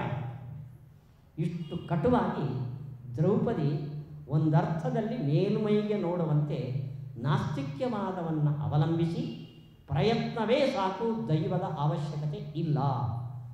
ಒಂದು ವೇಳೆ ದೈವವೇ ಇದಕ್ಕೆಲ್ಲ ಕಾರಣ ಆಗೋದಾದರೆ ದೈವ ಗೆಲ್ತದೆ, ಪುರುಷಕಾರ ವ್ಯರ್ಥ. ಆವಾಗ ಪುರುಷ ಮಾಡಿದ್ದೇ ಇಲ್ಲ, ಎಲ್ಲ ದೈವ ಮಾಡಿಸಿದ್ದು ಅಂದರೆ ಮಾಡಿಸಿದ ಫಲಾಫಲಗಳನ್ನು ಸುಖ ದುಃಖಗಳು ಅದಕ್ಕೆ ಹೋಗಬೇಕು. ಅದು ಅನುಭವಿಸೋದಿಲ್ಲ, ಅದಕ್ಕೆ ಸಾಮರ್ಥ್ಯ ಇದೆ. ನಾವು ಅನುಭವಿಸಬೇಕು ಅಂದರೆ ಅಲ್ಲಿಗೆ ದುರ್ಬಲರಿಗೆ ಶಿಕ್ಷೆ, ಪ್ರಬಲರು ತಪ್ಪು ಮಾಡಿದ್ರು ಅವರಿಗೆ ಶಿಕ್ಷೆ ಇಲ್ಲ ಅನ್ನೋ ನ್ಯಾಯವನ್ನು ಕ್ಷತ್ರಿಯರಾಗಿ ನಾವೇ ತೋರಿಸಿಕೊಟ್ಟಂತಾಗುತ್ತೆ. ಆದ್ದರಿಂದ ಕ್ಷತ್ರಿಯರಾಗಿ ನಾವು ಮಾಡಬೇಕಾದ ಕರ್ತವ್ಯವನ್ನು ನಾವು ಮಾಡಬೇಕು ಹೊರತು ಕ್ಷಮೆಯನ್ನು ದುಷ್ಟರಲ್ಲಿ ಮಾಡಿ ಧರ್ಮಕ್ಕೆ ತಲೆಬಾಗುವುದು ಸರಿಯಲ್ಲ ಅಂತ. ಇದು ದ್ರೌಪದಿ ಮಹಾಭಾರತದಲ್ಲಿ ತನ್ನ ವಾದವನ್ನು ಏನು ಮುಂದಿಟ್ಟಿದ್ದಾರೋ ಆ ಎರಡು ಅಧ್ಯಾಯಗಳ ಸಂಕ್ಷಿಪ್ತ ಅಂಶವನ್ನು ತಮ್ಮ ಮುಂದೆ ಇಟ್ಟಿದ್ದೇನೆ. ಇದಕ್ಕೆ ಧರ್ಮರಾಜರು ಏನು ಉತ್ತರ ಕೊಡ್ತಾರೆ ಅಂತ ನೋಡೋಣ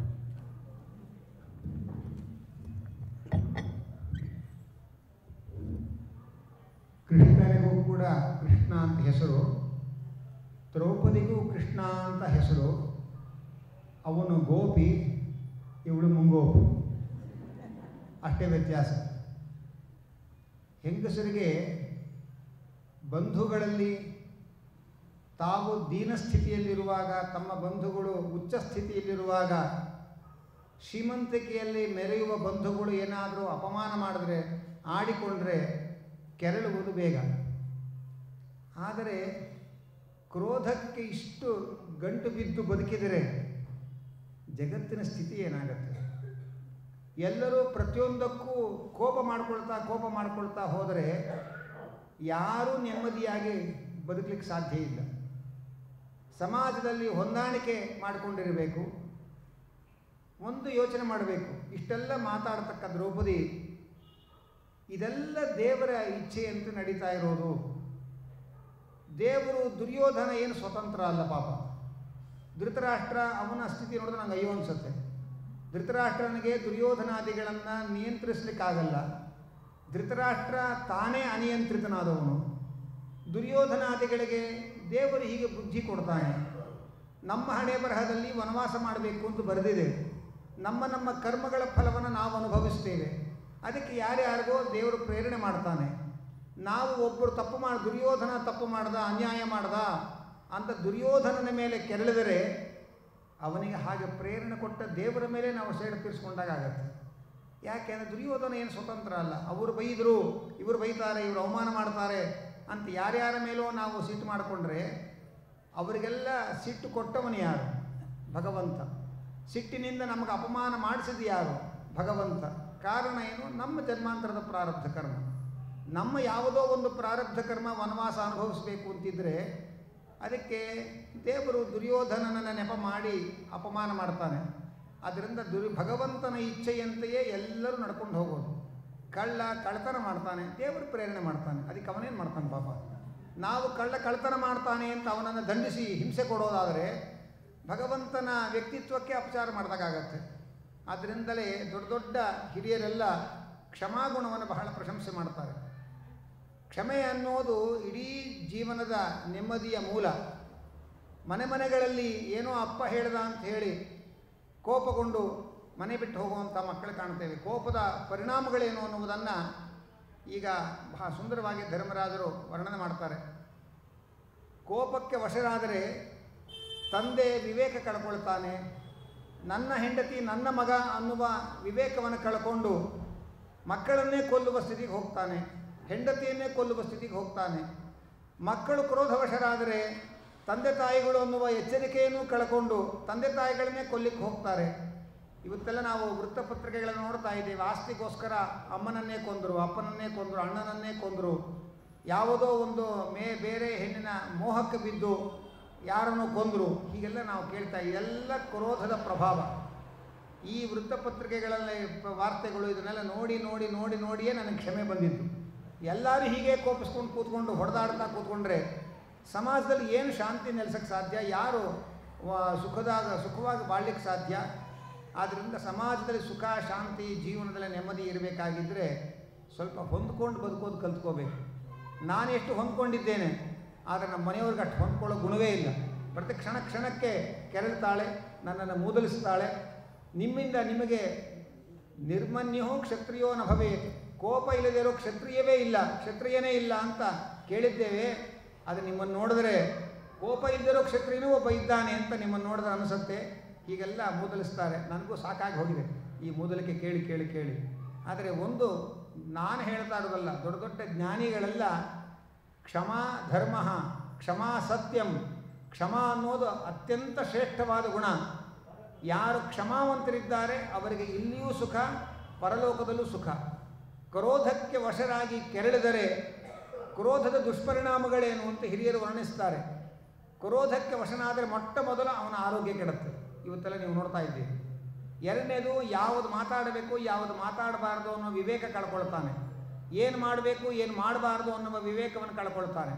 ದೊಡ್ಡವರು ದೊಡ್ಡವರು, ಚಿಕ್ಕವರು ಅನ್ನುವ ಕರುಣೆ, ಗೌರವ ಈ ಎಲ್ಲ ಭಾವಗಳು ನಶಿಸಿ ಹೋಗುತ್ತೆ. ಜನ ಅವರನ್ನು ದ್ವೇಷ ಮಾಡ್ತಾರೆ. ಮಹಾ ಕೋಪಿಷ್ಟ ಅವನು ಸಹವಾಸ ಬೇಡ. ಅಂಥೇಳಿ ಎಲ್ಲರೂ ಅವನ ಸಹವಾಸ ಬಿಡ್ತಾರೆ. ಎಲ್ಲರಿಗೂ ಕೂಡ ಎಲ್ಲರಿಂದ ಅಪ, ಎಲ್ಲರ ಅಪಮಾನಕ್ಕೆ ಪಾತ್ರನಾಗ್ತಾನೆ, ಎಲ್ಲರ ಅನಾದರಕ್ಕೆ ಪಾತ್ರನಾಗ್ತಾನೆ. ಹಾಗಾಗಿ ತಮ್ಮ, ನಮ್ಮ ನಮ್ಮ ಅಧೀನದಲ್ಲಿರಬೇಕಾದಂತಹ ಅವನು ಶಿಷ್ಯ ಆಗಿರ್ಬೋದು, ಹೆಂಡತಿ ಆಗಿರ್ಬೋದು, ಮಕ್ಕಳಾಗಿರ್ಬೋದು, ಭೃತ್ಯರಾಗಿರ್ಬೋದು, ಎಲ್ಲರೂ ಕೂಡ ಆ ಕೋಪಿಷ್ಟನನ್ನು ಅನಾದರ ಮಾಡ್ತಾರೆ.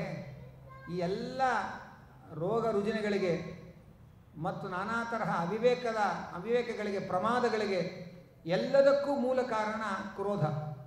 ಆದ್ದರಿಂದಲೇ ನಾನು ಆ ಕ್ರೋಧವನ್ನು ದೊಡ್ಡ ದೊಡ್ಡ ಸಾಧಕರು ಅಂಥ ಕ್ರೋಧವನ್ನು ಗೆದ್ದು ಜಿತೇಂದ್ರಿಯರು ಅಂತ ಅನಿಸಿಕೊಂಡಿದ್ದಾರೆ. ಮಾತು ಮಾತಿಗೆ ದ್ರೌಪದಿಯಂತೆ ನಾನು ಕೆರಳತಾ ಕೂತರೆ, ಆವಾಗ ನಾವೇ ಕ್ರೋಧವನ್ನು ವೈಭವೀಕರಿಸಿದರೆ ಜಗತ್ತಿನಲ್ಲಿ ಯಾರು ಕ್ಷಮಾಗುಣದ ಗುಣದ ಪ್ರತಿಪಾದನೆಯನ್ನು ಮಾಡೋಕ್ಕೆ ಸಾಧ್ಯ? ಆದ್ದರಿಂದ ಯಾರಾದರೂ ಹೊಡೆದರೋ ಹೊಡೆಸ್ಕೊಳ್ಳೋಣ. ಸಹಿಸ್ಕೋಬೇಕು ನಾವು. ಯಾಕೆಂದರೆ ನಾವು ತಿರುಗಿ ಹೊಡೆತಾ ಕೂತ್ಕೊಂಡ್ರೆ ಅವರು ತಿರ್ಗಾ ಹೊಡೆಯೋದು. ಈ ಕೊನೆಯಲ್ಲಿ ಇದಕ್ಕೆ. ಅವನು ಕೊಲೆ ಮಾಡ್ದ, ನಾನು ಕೊಲೆ ಮಾಡ್ತೀನಿ, ಅವನು ಬೈದ, ನಾನು ಬೈತೀನಿ ಅಂತ ಇಬ್ಬರು ಹಠಕ್ಕೆ ಬಿದ್ದರೆ ಕೊನೆಯೇ ಇಲ್ಲ. ಆದ್ದರಿಂದ ಸಮಾಜದಲ್ಲಿ ನಾನಾ ತರಹದ ಆಕ್ರಮಣಗಳು, ಅತಿಕ್ರಮಣಗಳು ಎಲ್ಲ ಆಗ್ತಾ ಇರುತ್ತೆ. ಆದ್ದರಿಂದ ನಮ್ಮ ಕ್ಷಮೆ ಅದರನೇ ಪತಿತೋ ವನ್ಹಿ ಸ್ವಯಮೇ ಓಪಶಾಮ್ಯತೆ ಅಂತ. ಹುಲ್ಲಿಲ್ಲದೆ ಇರೋ ನೆಲದ ಮೇಲೆ ಬೆಂಕಿ ಬಿದ್ದರೆ ತಾನೇ ಆರೋಗುತ್ತೆ ಅಂತ ಒಂದು ಮಾತಿದೆ. ಹಾಗೆ ನಾವು ನಮ್ಮ ರಿಯಾಕ್ಷನ್ ನೋಡ್ಕೊಂಡು ಇನ್ನೊಬ್ಬರ ಆ್ಯಕ್ಷನ್ ಶುರುವಾಗತ್ತೆ. ಆದ್ದರಿಂದ ಅವ್ರು ಎಷ್ಟೇ ಕೋಪ ಕೆರಳಿ ಬೈದರು, ಶಾಂತವಾಗಿ ಇದ್ದರೆ ಇವನು ಬೈದು ಉಪಯೋಗ ಇಲ್ಲ ಅಂತ ಅವರೇ ತಣ್ಣಗಾಗ್ತಾರೆ ಆದ್ದರಿಂದ ಇನ್ನೊಬ್ಬ ಕೋಪಿಗಳನ್ನೂ ಶಾಂತರನ್ನಾಗಿ ಮಾಡಬಲ್ಲಂತಹ, ಪರಿವರ್ತಿಸುವಂತಹ ದೊಡ್ಡ ಗುಣ, ದೊಡ್ಡ ಶಕ್ತಿ ಕ್ಷಮಾಗುಣಕ್ಕಿದೆ ಆದ್ದರಿಂದಲೇ ಹಿರಿಯರ ಜ್ಞಾನಿಗಳೆಲ್ಲ ಕ್ಷಮಾಗುಣವನ್ನು ಬಹಳ ಎತ್ತಿ ಹಿಡಿದಿದ್ದಾರೆ. ಕ್ಷಮಯಾಧರಿತ್ರಿ ಅಂತ ನಾವು ಭೂಮಿಯನ್ನು ಕ್ಷಮೆಗೆ ಹೋಲಿಸಿ ಆ ಒಂದು ಪಕ್ಷ ಭೂಮಿಯು ನಮ್ಮ ಮೇಲೆ ಸಿಟ್ಟು ಮಾಡಿಕೊಂಡು ಬಾಯಿ ಬಿರಿದರೆ ನಮ್ಮ ಗತಿ ಏನಾಗಬೇಕು? ಆದ್ದರಿಂದ ಜಗತ್ತಿನಲ್ಲಿ ಎಲ್ಲೇ ಶಾಂತಿ ಸಮಾಧಾನಗಳು ಸಿಗಬೇಕಾಗಿದ್ದರೆ ಹೊಂದಿಕೊಂಡು ಬಾಳುವುದನ್ನು ಕಲ್ತ್ಕೊಳ್ಬೇಕು. ಯಾರೋ ಹೊಡೆದ್ರು, ಯಾರೋ ಕದ್ರು, ಯಾರೋ ದರೋಡೆ ಮಾಡಿದ್ರು ಸುಮ್ಮ ಸುಮ್ಮನೆ ಕ್ಷಣ ಕ್ಷಣಕ್ಕೆ ನಾವು ಕೆರಳತಾ ಕೂತರೆ ಎಲ್ಲಿ ಶಾಂತಿ ಸಿಗುತ್ತೆ? ಅದರಿಂದ ಎಲ್ಲ ಸಮಾಜದ ದೊಡ್ಡ ದೊಡ್ಡ ಅನರ್ಥಗಳಿಗೆಲ್ಲ ಕ್ರೋಧವೇ ಮೂಲ ಕಾರಣ. ಅಂಥ ಕ್ರೋಧವನ್ನು ಬಿಡಬೇಕು ಅಂತಲೇ ನಾನು ಪ್ರಯತ್ನಪೂರ್ವಕವಾಗಿ ಕೆರಳದೆ ಶಾಂತಿ ಸಹನೆಯಿಂದ ಬದುಕ್ತಾ ಇದ್ದೇನೆ. ನನ್ನ ಕ್ಷಮಾಗುಣವನ್ನೇ ಗೇಲಿ ಮಾಡ್ತಾ ಇದ್ದಾಳೆ ದ್ರೌಪದಿ. ಇನ್ನೊಂದು ಮಾತು ಹೇಳ್ಬೋದು ಇನ್ನು ಧರ್ಮ ಏನು ಮಾಡ್ತು? ಎಷ್ಟು ಮುದಲಿಸ್ತಾಳೆ ಅಂದರೆ ಧರ್ಮೋ ರಕ್ಷತೆ ರಕ್ಷಿತ ಅಂತ ನಾವು ರಕ್ಷಣೆ ಮಾಡಿದ ಧರ್ಮ ನಮ್ಮನ್ನು ರಕ್ಷಣೆ ಮಾಡುತ್ತೆ ಅಂತ ಹೇಳ್ತಾರೆ. ನೀನು ಧರ್ಮ ಧರ್ಮ ಧರ್ಮ ರಕ್ಷಣೆ ಮಾಡ್ತಾ ಇದ್ದಿಲ್ಲ. ಆ ಧರ್ಮ ನಿನ್ನನ್ನು ಏನು ರಕ್ಷಣೆ ಮಾಡ್ತು? ಕಾಡು ಪಾಲು ಮಾಡ್ತು. ಹಾಗೆ ಅಂತ ದ್ರೌಪದಿ ಬೈತಾ ಇದ್ದಾಳೆ. ಆದರೆ ನಾನು ಧರ್ಮ ಮಾಡಬೇಕಾದ್ರೆ ಫಲದ ಯೋಚನೆಯೇ ಇಟ್ಕೊಳ್ಳಲ್ಲ. ಫಲದ ಆಕಾಂಕ್ಷೆ ಇಟ್ಕೊಳ್ಳದೆ ಧರ್ಮ ಮಾಡಬೇಕು ಅಂತಲೇ ಹಿರಿಯರೆಲ್ಲ ಹೇಳೋದು ಯಾಕೆಂದರೆ ನಮಗೆ ಒಂದು ಒಂದು ಶಾಸ್ತ್ರ, ಧರ್ಮವನ್ನು ಅನುಷ್ಠಾನ ಮಾಡುವಂಥ ಶಾಸ್ತ್ರ ಹೇಳ್ತಾ ಇದೆ. ಶಾಸ್ತ್ರಕ್ಕೆ ನಾವು ಪ್ರಾಮಾಣ್ಯವನ್ನು ಒಪ್ಪಿಕೊಂಡ ಮೇಲೆ ಅದರ ಫಲಾಫಲಗಳ ಬಗ್ಗೆ ಯೋಚನೆ ಮಾಡದೆ ಧರ್ಮವನ್ನು ಮಾಡಬೇಕು. ಇನ್ನೊಂದು ಶಿಷ್ಟಾಚಾರಗಳು. ಎಲ್ಲ ಶಿಷ್ಟರು ಕೂಡ ಧರ್ಮ ಮಾರ್ಗದಲ್ಲಿ ನಡೀತಾ ಇದ್ದಾರೆ. ಅದರಿಂದ ಶಿಷ್ಟರೆಲ್ಲ ಧರ್ಮ ಮಾರ್ಗದಲ್ಲಿ ನಡೆಯುವುದನ್ನು ನೋಡಿ ನೋಡಿ ಮತ್ತು ಧರ್ಮವನ್ನು ಆಚರಿಸಬೇಕು, ಧರ್ಮಂ ಚರ ಅಂತ ವೇದಗಳು ಹೇಳ್ತಾ ಇರೋದನ್ನು ಕೇಳಿ, ಶಾಸ್ತ್ರದ ಪ್ರಾಮಾಣ್ಯದ ಮೇಲೆ ಶಿಷ್ಟಾಚ ಶಿಷ್ಟಾಚಾರದ ಪ್ರಾಮಾಣ್ಯದ ನೆಲೆಯಲ್ಲಿ ನಾನು ಧರ್ಮ ಮಾಡ್ತಾ ಇದ್ದೀನಿ ಹೊರತು ನನಗೆ ರಾಜ್ಯ, ಸಿಗಲಿ, ಬಿಡಲಿ ಇದೆಲ್ಲ ಲೌಕಿಕ. ಈ ರಾಜ್ಯ ಕೊಟ್ಟರೇನು ಬಿಟ್ಟರೇನು ಪರಲೋಕದಲ್ಲಿ ನಾವು ಏನು ಹೇಗಿರಬೇಕು ಅನ್ನೋದು ಬಹಳ ಮುಖ್ಯ. ಆದ್ದರಿಂದ ಇಲ್ಲಿ ಮುನಿಸಿ ಕೆರಳಿ ಒಂದು ಸಿಂಹಾಸನ ಪ ಪಡೆಯಬಹುದಷ್ಟೇ. ಅದರಿಂದ ಕ್ಷಮೆಯ ಅವಮಾನ ಆಯಿತು, ಕ್ರೋಧಕ್ಕೆ ವಶರಾದ್ವಿ. ಪ್ರಯೋಜನ ಇಲ್ಲ. ಅದರ ಬದಲು ಕ್ಷಮಾಗುಣದಿಂದ ಎಲ್ಲ ಮಾನಾಪಮಾನಗಳನ್ನು ಸಹಿಸಿಕೊಂಡು ಬದುಕುವುದನ್ನು ಕಲಿತರೆ ಪರಲೋಕದಲ್ಲೂ ನಮಗೆ ಉತ್ತಮವಾದಂತಹ ಸದ್ಗತಿಯಾಗತ್ತೆ. ಇಹಲೋಕದಲ್ಲಿ ಇಹಲೋಕದಲ್ಲೂ ಸುಖ, ಶಾಂತಿಗಳು ನಮಗೆ ಸಿಗಲಿಕ್ಕೆ ಸಾಧ್ಯ. ಯಾವುದೋ ಫಲದ ಆಕಾಂಕ್ಷೆ ಇಟ್ಟುಕೊಂಡೇ ಧರ್ಮ ಮಾಡ್ತಾ ಹೋದರೆ ನಾವು ಇಷ್ಟು ಧರ್ಮ ಮಾಡಿದ್ವಿ, ಆ ಫಲ ಸಿಗಲಿಲ್ಲ. ಇದೇ ಕೊರಗು, ಕೊರಗ್ತಾ ಹೋಗ್ತೀವಿ. ಅದರ ಫಲದ ಯೋಚನೆ ಇಲ್ಲದೆ ನಾನು ಧರ್ಮ ಮಾಡಬೇಕು ಅಂತ ಶಾಸ್ತ್ರ ಹೇಳ್ತಾ ಇದೆ ಧರ್ಮ ಮಾಡುತ್ತೇನೆ. ಧರ್ಮ ಮಾಡಬೇಕು ಅಂತ ಶಿಷ್ಟರೆಲ್ಲ ಆಚರಣೆ ಮಾಡ್ತಾ ಇದ್ದಾರೆ, ಧರ್ಮಾಚರಣೆ ಮಾಡ್ತಾ ಇದ್ದೇನೆ ಅದಕ್ಕೋಸ್ಕರ ನಾನು ಧರ್ಮಾಚರಣೆ ಮಾಡ್ತಾ ಇದ್ದೇನೆ. ಜೊತೆಯಲ್ಲಿ ದೇವರು ಎಲ್ಲ ಮಾಡಿಸ್ತಾನೆ. ದೇವರು ಎಲ್ಲ ಮಾಡಿಸ್ತಾನೆ ಅನ್ನೋದನ್ನು ಒಪ್ಪದೆ, ನೀನು ಹೋರಾಟ ಮಾಡು, ನೀನು ಸುಮ್ಮನೆ ಕೂತ್ಕೊಂಡಿದ್ದಿ, ನೀನು ಎದ್ದು ಚುರುಕಾಗಿ ಯುದ್ಧ ಮಾಡ್ತೇನೆ ಅಂತ ಹೇಳಿ ಬಾಯಲ್ಲಿ ಯುದ್ಧ ಮಾಡಿ ರಾಜ್ಯ ಪಡೀಬೇಕು ಇದೆಲ್ಲ ನಮ್ಮ ಕೈಲಿ ಎಲ್ಲಿದೆ? ಎಲ್ಲ ಅವ್ರ ಕೈಲಿರೋದು. ಅವನು ಪ್ರೇರಣೆ ಮಾಡಿರ್ತಾನೆ ತಾನೆ. ಅವನು ಪ್ರೇರಣೆ ಮಾಡಲಿಲ್ಲ ನನಗೆ ಯುದ್ಧ ಮಾಡು ಅಂತ. ನನಗೆ ಕೋಪ ಕೊಟ್ಟಿಲ್ಲ ದೇವರು ನಾನೇ ಮಾಡಲಿ ಅದಕ್ಕೆ? ಆದ್ದರಿಂದ ದೇವರು ಪ್ರೇರಣೆ ಮಾಡಿದ್ರೆ ಸಂಧ್ಯಾವಂದನೆ ಮಾಡೋಕ್ಕೆ ಸಾಧ್ಯ. ಎಷ್ಟು ಉಪನ್ಯಾಸ ಕೇಳಿದ್ರೆ ಏನು? ಎಷ್ಟು ಜನ ಸಂಧ್ಯಾವನ ಮಾಡೋಕ್ಕಾಗತ್ತೆ ಹೇಳ್ರಿ. ಪ್ರೇರಣೆ ಮಾಡಬೇಕಲ್ಲ ದೇವರು. ಆದ್ದರಿಂದ ಪ್ರೇರಣೆ ಮಾಡದೆ ಹೋದ ಮೇಲೆ ಯಾರೂ ಏನು ಮಾಡೋಕ್ಕಾಗಲ್ಲ. ಹಾಗೆ ಭಗವಂತನ ಸರ್ವೋಚ್ಚ ಸ್ವಾತಂತ್ರ್ಯ ಸರ್ವ ಪ್ರೇರಕತ್ವದ ಮೇಲೆ ಬಲವಾಗಿ ನಂಬಿಕೆ ಇಟ್ಟು ನಾನು ಮಾತಾಡಿದ್ರೆ ಪರಮಾತ್ಮನ ಒಂದು ಸರ್ವೋತ್ತಮತ್ವವನ್ನು ಸರ್ವ ಪ್ರೇರಕತ್ವವನ್ನೇ ಮೂಲೆ ಗುಂಪು ಮಾಡಿ ದ್ರೌಪದಿ, ನೀವು ಪ್ರಯತ್ನ ಮಾಡಿರಿ, ನೀವು ಪ್ರಯತ್ನ ಮಾಡಿರಿ. ಹಾಗೆ ಅಂತ ನನಗೆ ಹೇಳ್ತಾಳೆ. ಆದರೆ ನಾನು ಪ್ರಯತ್ನ ಮಾಡೋದು ಅನ್ನೋ ಮಾತಿಗೆ ಅರ್ಥನೇ ಇಲ್ಲ. ಯಾಕೆಂದರೆ ಕರ್ತೃತ್ವ ಅಂತಂದರೆ ಸ್ವಾತಂತ್ರ್ಯ ಅಂತ ಅರ್ಥ. ಸ್ವತಂತ್ರ ಕರ್ತ ಅಂತ ಶಾಸ್ತ್ರ ಹೇಳುತ್ತೆ. ಆದ್ದರಿಂದ ಪರಮಾತ್ಮ ಕರ್ತೃ.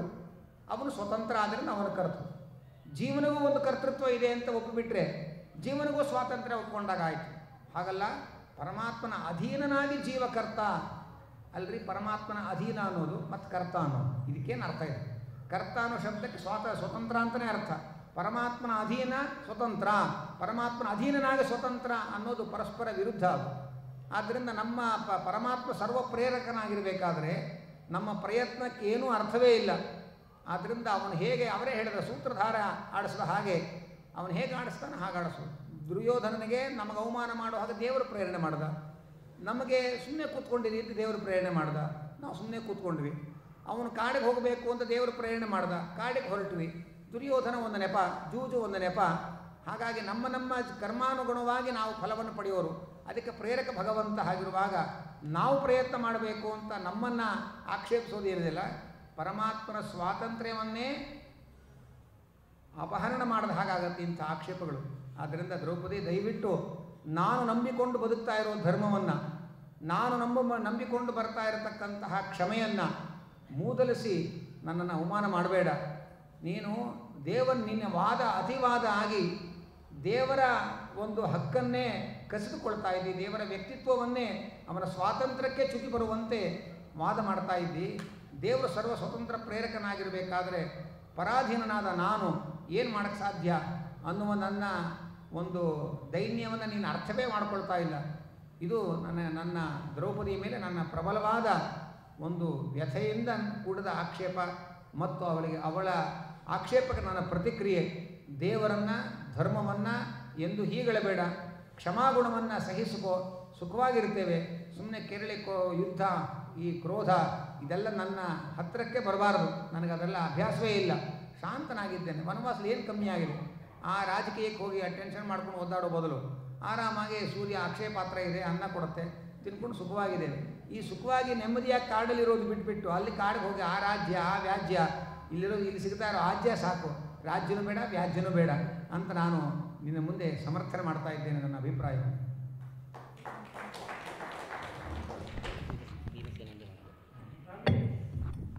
ಕ್ರೋಧ ಯಾಕೆ ಮಾಡಿದ್ರಿ ಈ ಜೂಜಾಡ್ಬೇಕು ಜೂಜಾಡ ಕ್ರೋಧ ಬಿಟ್ಟಿರ್ಬೇಕಂತ ಅವನ ಪ್ರೇರಣೆ ಇವಾಗ ನೀವು ಕ್ರೋಧ ಉಪದೇಶ ಮಾಡ್ತಾ ಇದ್ದೀನಿ ಧರ್ಮರಾಯರೇ. ಕ್ರೋಧ ಮಾಡಬಾರದು ಅಂತ ಮಾಡಬಾರ್ದು ಅಂತ ಹೇಳ್ತಾ ಇದ್ದೀನಿ ಇವತ್ತು ಪ್ರೇರಣೆ. ಕ್ರೋಧ ಮಾಡಬಾರದು ಅಂತ. ಜೂಜಾಟ್ರಲ್ಲಿ ನಾವು ಕ್ರೋಧ ಮಾಡ್ಕೊಂಡಿಲ್ಲ ಎಲ್ಲ ಅವನ ಪ್ರೇರಣೆ. ಅದು ಕ್ರೋಧ ಅಲ್ಲ. ಕ್ರೋಧ ಅಲ್ಲ ಅದು. ಗೆಲ್ಲೋ ಆಸೆ ಅದು ಗೆಲ್ಲೋ ಆಸೆ. ಇನ್ನಾದರೂ ಗೆಲ್ಲೋದ ಗೆಲ್ಬೋದು ಅಂತ. ಇನ್ನಾದರೂ ಗೆಲ್ಬೋದು ಕಡೆ ಪಕ್ಷ.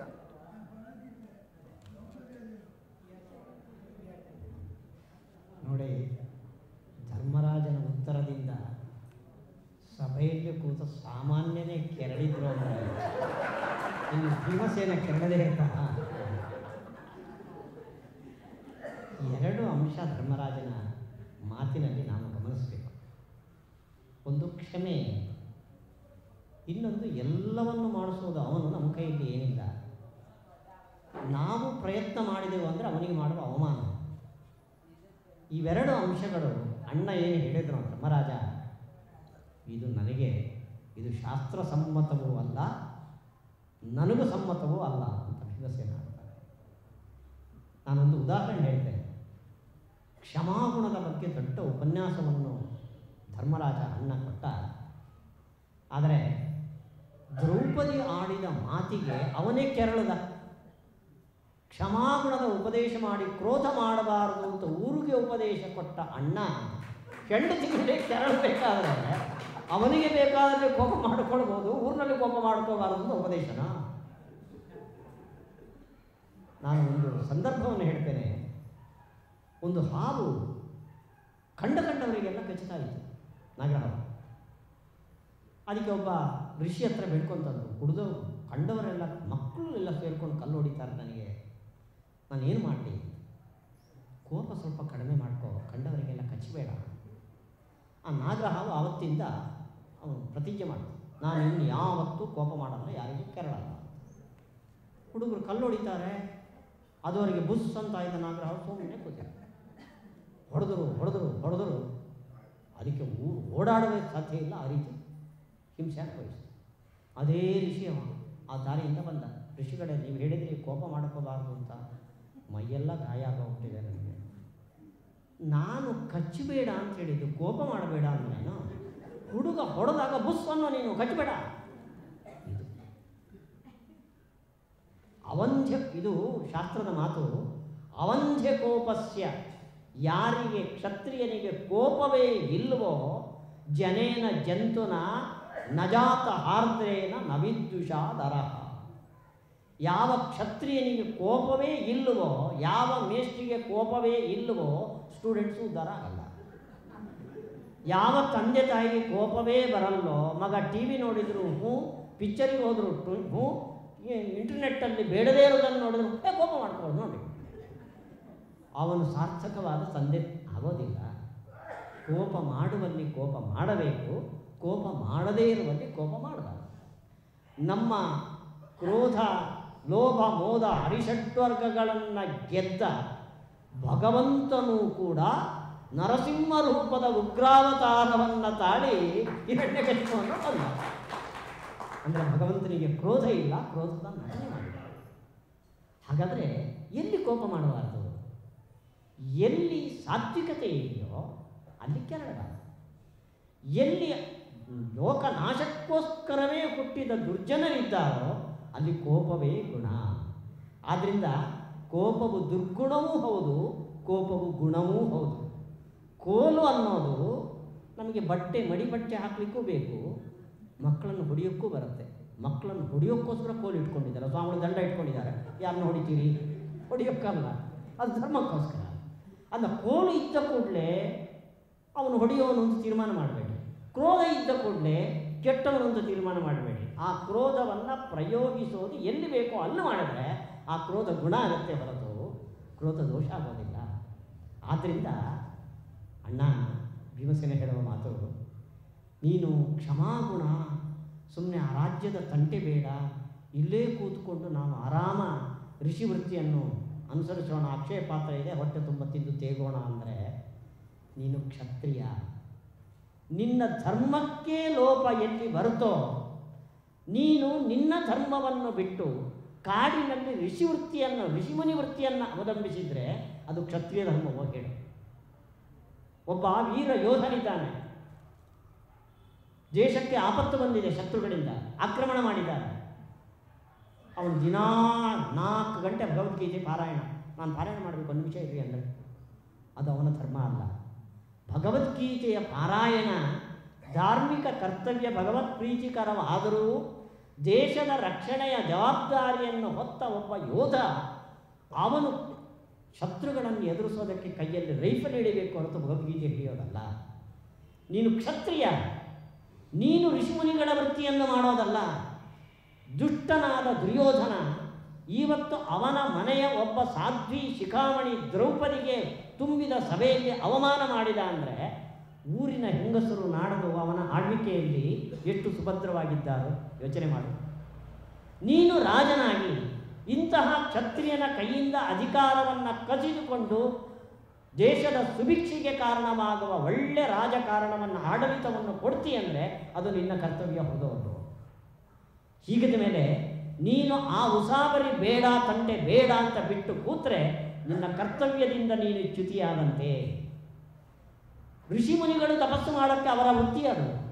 ಆದರೆ ನಿನ್ನ ಒಬ್ಬನ ತ್ಯಾಗದಿಂದ, ನಿನ್ನ ಒಬ್ಬನ ಕ್ರೋಧದಿಂದ ನೀನು ಒಪ್ಪ ಮಾಡುವ ಪ್ರಯತ್ನದಿಂದ ನೂರಾರು ಪ್ರಜೆಗಳಿಗೆ ಕ್ಷೇಮವಾಗ್ತದೆ ಎಂದಾಗ ಕ್ಷತ್ರಿಯನಾಗಿ ನಿನ್ನ ಕರ್ತವ್ಯ ಅದೋ ಇದೋ. ಆದ್ದರಿಂದ ಕ್ಷಮೆ ಗುಣಕ್ಕೆ ಬಯಕೊಟ್ಟು ನಾನು ಇದೇ ವೃತ್ತಿಯಲ್ಲಿ ಮುಂದುವರಿತೇನೆ ಅನ್ನೋದು ನಿನ್ನ ಧರ್ಮಕ್ಕೆ ಗೊಪ್ಪೋದು ಅಲ್ಲ. ನಾನು ಭೀಮಸೇನಿಂದ ಈ ಕಡೆ ಬಂದು ಮಾತನಾಡ್ತೇನೆ. ಕೃಷ್ಣ ಕೊಟ್ಟ ಸಂದೇಶ ಸ್ವಧರ್ಮೇ ನಿಧನಂ ಶ್ರೇಯ ಪರಧರ್ಮೋ ಭಯಾವಹ ಇದು ಪರಧರ್ಮ ಸ್ವಧರ್ಮ ಅಲ್ಲ. ಇದು ಭೀಮಸೇನ ಕ್ಷಮಾಗುಣಕ್ಕೆ ಹೇಳಿದ ಮೊದಲನೇ ಪರಿಹಾರ. ಎರಡನೇದು ಎಲ್ಲ ದೇವರೇ ನನಗೆ ಹೀಗೆ ಮಾಡು ಅಂತ ಹೇಳಿಕೊಟ್ಟಿದ್ದು ದೇವರೇ. ಜೂಜಾರು ಅಂತ ಒಳಗಡೆ ಕೂತ್ಕೊಂಡು ಪ್ರೇರಣೆ ಮಾಡಿದ್ದು ದೇವರೇ. ಹಾಗಾದರೆ ಅಣ್ಣ ಜೂಜಾಡಿದ್ದು ನೀನು ತಪ್ಪಲ್ಲ ಅಂತೀಯೋ? ಹೆಂಡತಿಯನ್ನು ಪಣದಲ್ಲಿಟ್ಟಿದ್ದು ನೀನು ತಪ್ಪಲ್ಲ ಅಂತೀಯೋ?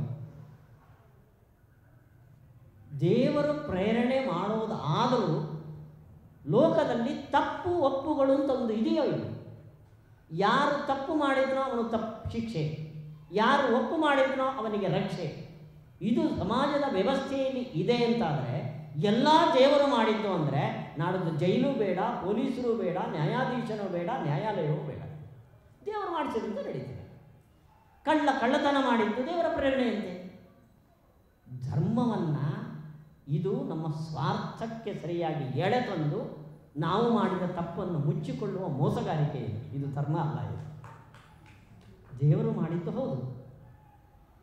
ದೇವರು ಮಾಡಿದ್ದು ಹೌದಾದರೂ ನಾವು ಮಾಡಿದ್ದು ಅಲ್ಲ ಅಂತೀರಾ?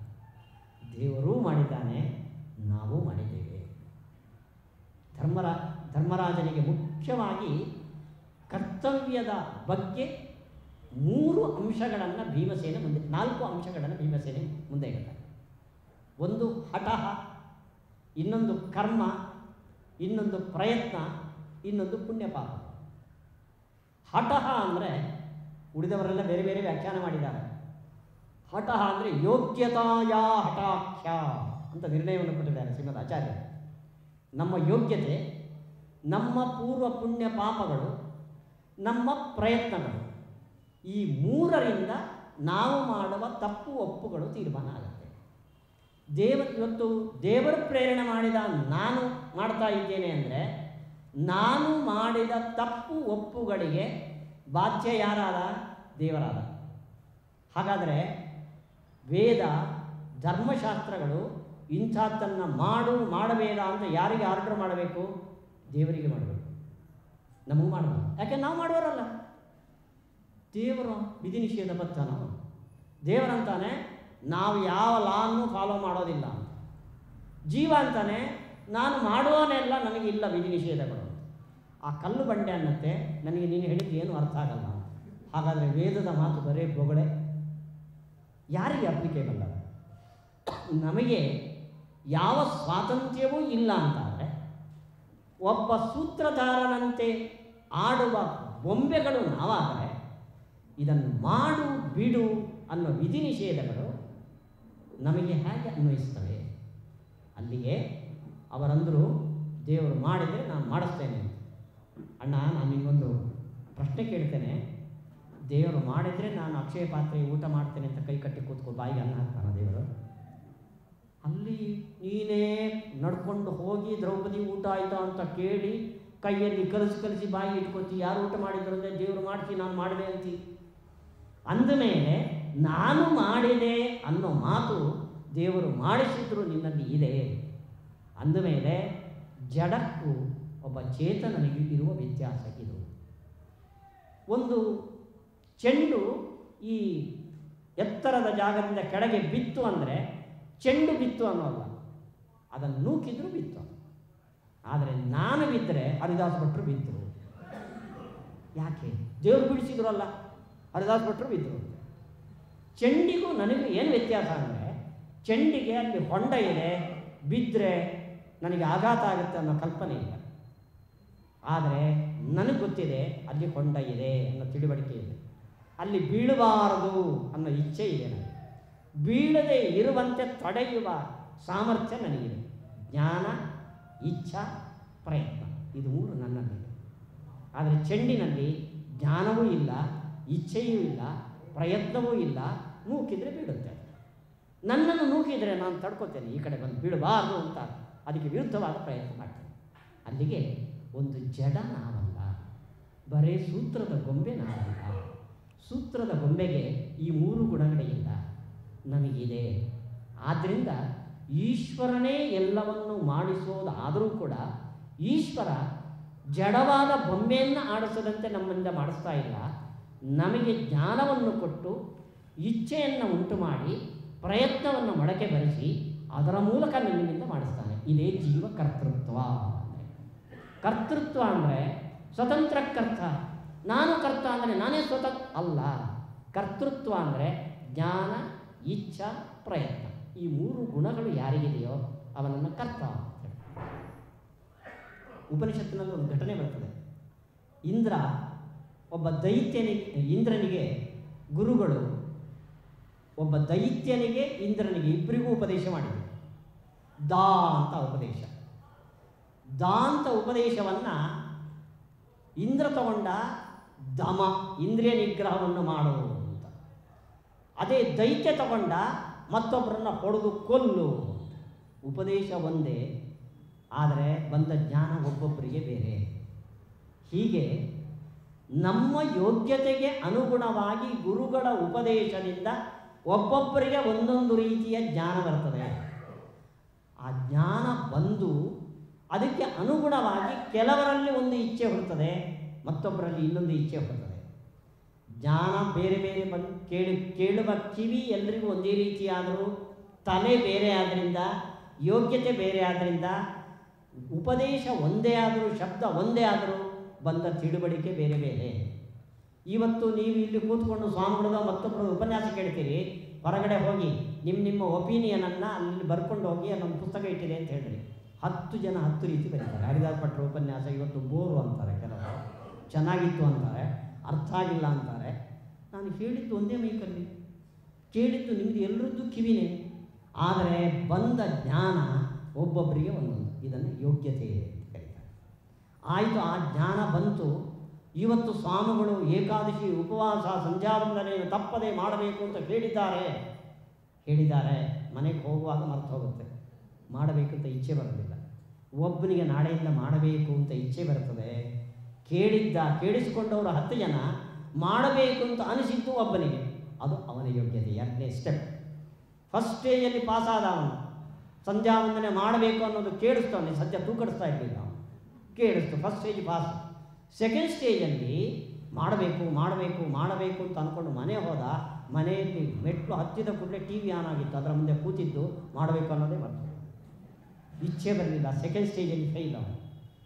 ಮತ್ತೊಬ್ಬನಿಗೆ ಇಚ್ಛೆ ಬಂತು. ನಾಳೆಯಿಂದ ಸಂಧ್ಯಾಂಗನೆ ಮಾಡಬೇಕು ಸ್ವಾಮಿಗಳು ಹೇಳಿದ್ದಾರೆ ಅಂತ. ಮರುದಿವಸ ಎದ್ದ ನಾಳೆ ಮಾಡೋಣ ಅಂತಂದ. ಇಚ್ಛೆ ಬಂತು, ಮಾಡಲಿಲ್ಲ. ಅದೇ ಮತ್ತೊಬ್ಬನಿಗೆ ಮಾಡಬೇಕಂತ ಸ್ವಾಮಿ ಹೇಳಿದ್ದು ಕೇಳಿಸ್ತು. ಮಾಡಬೇಕಂತ ಇಚ್ಛೆ ಬಂತು. ಮರು ದಿವಸ ಸಂಧ್ಯಾವಂದನೆಗೆ ಕೂತ ಮೂರನೇ ಸ್ಟೇಜಲ್ಲೂ ಪಾಸ್ ಹೀಗೆ ಕೇಳುವ ಉಪದೇಶ ಒಂದೇ ಆದರೂ ಕೆಲವರಿಗೆ ಫಸ್ಟ್ ಸ್ಟೇಜಲ್ಲಿ ಜ್ಞಾನವೇ ಬರೋದಿಲ್ಲ. ಫಸ್ಟ್ ಸ್ಟೇಜಲ್ಲಿ ಜ್ಞಾನಕ್ಕೆ ಬಂದರೂ ಎರಡನೇ ಹಂತದ ಇಚ್ಛೆಯೇ ಹುಟ್ಟೋದಿಲ್ಲ.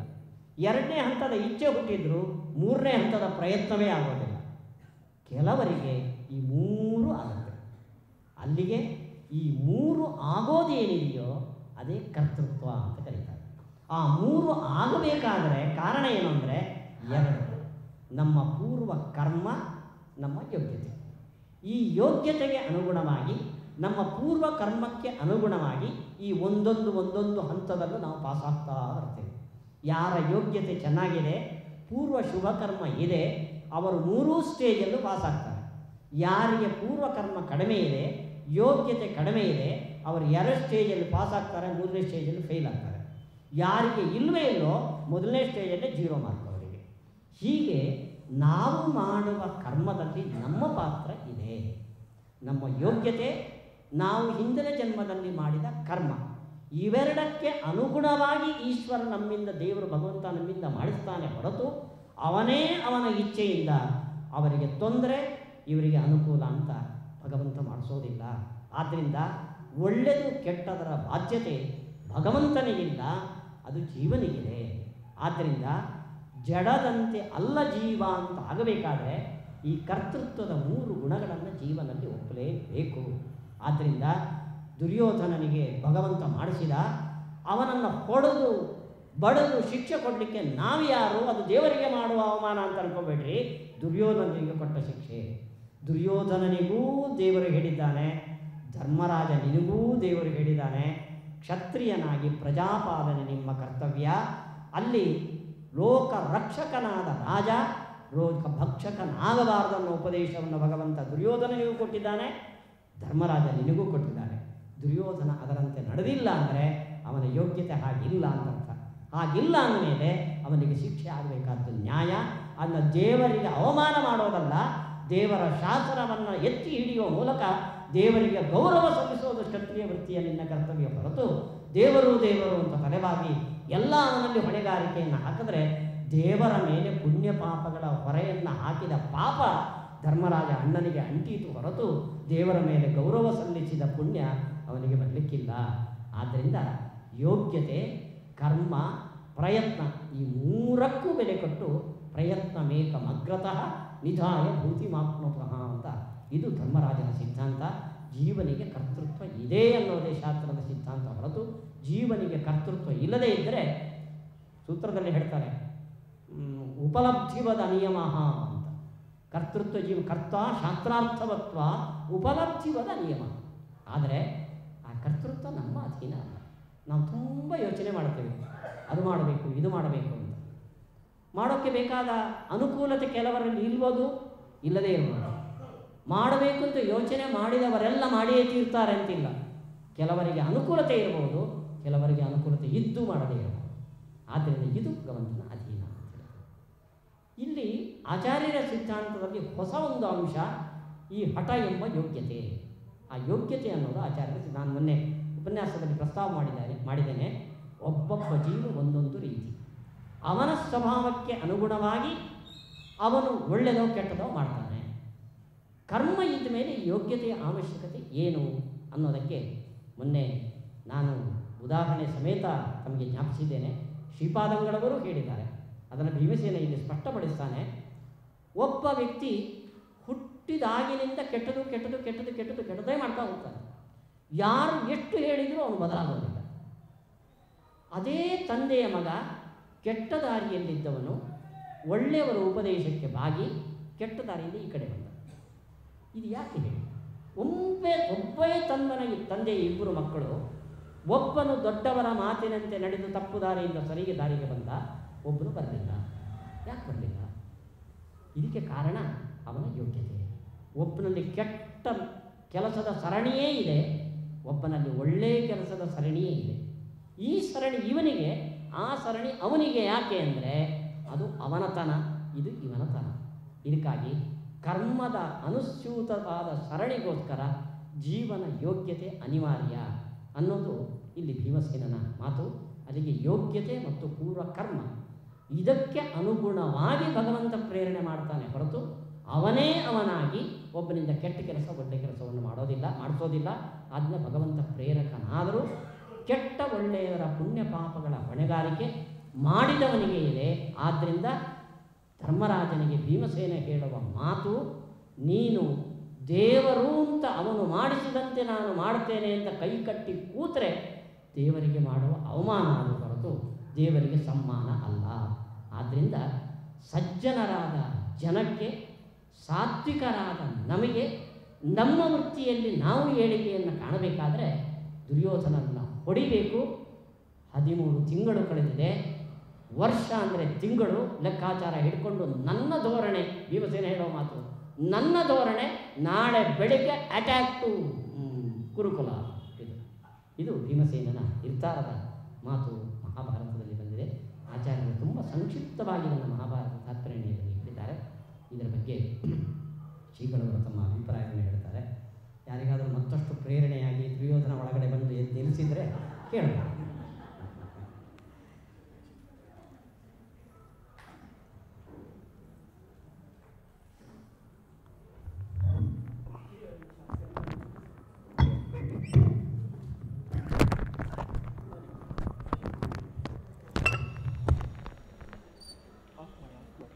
ಮಾಡಿದೆ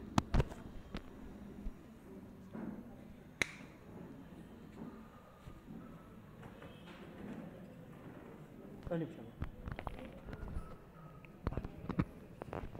ಒಂದು ನಿಮಿಷ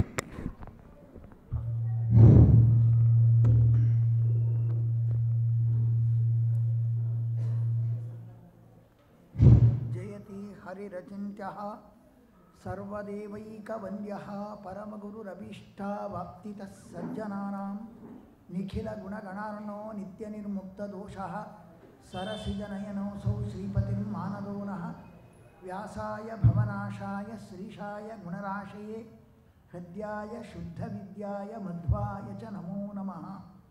ಹರಿದಾಸ್ ಭಟ್ರು ಮತ್ತು ರಾಮವಿಟ್ಲಾಚಾರ್ಯರು ಪೂರ್ವಪಕ್ಷ ರೂಪದಲ್ಲಿ ತಮ್ಮ ಧರ್ಮರಾಜನ ಮೂಲಕ ಪೂರ್ವಪಕ್ಷ ಕ್ಷಮೆಯೇ ಶ್ರೇಷ್ಠವಾದದ್ದು. ಎಲ್ಲವೂ ದೇವರ ಅಧೀನದಲ್ಲಿದೆ, ನಮ್ಮ ಕೈಯಲ್ಲಿಲ್ಲ.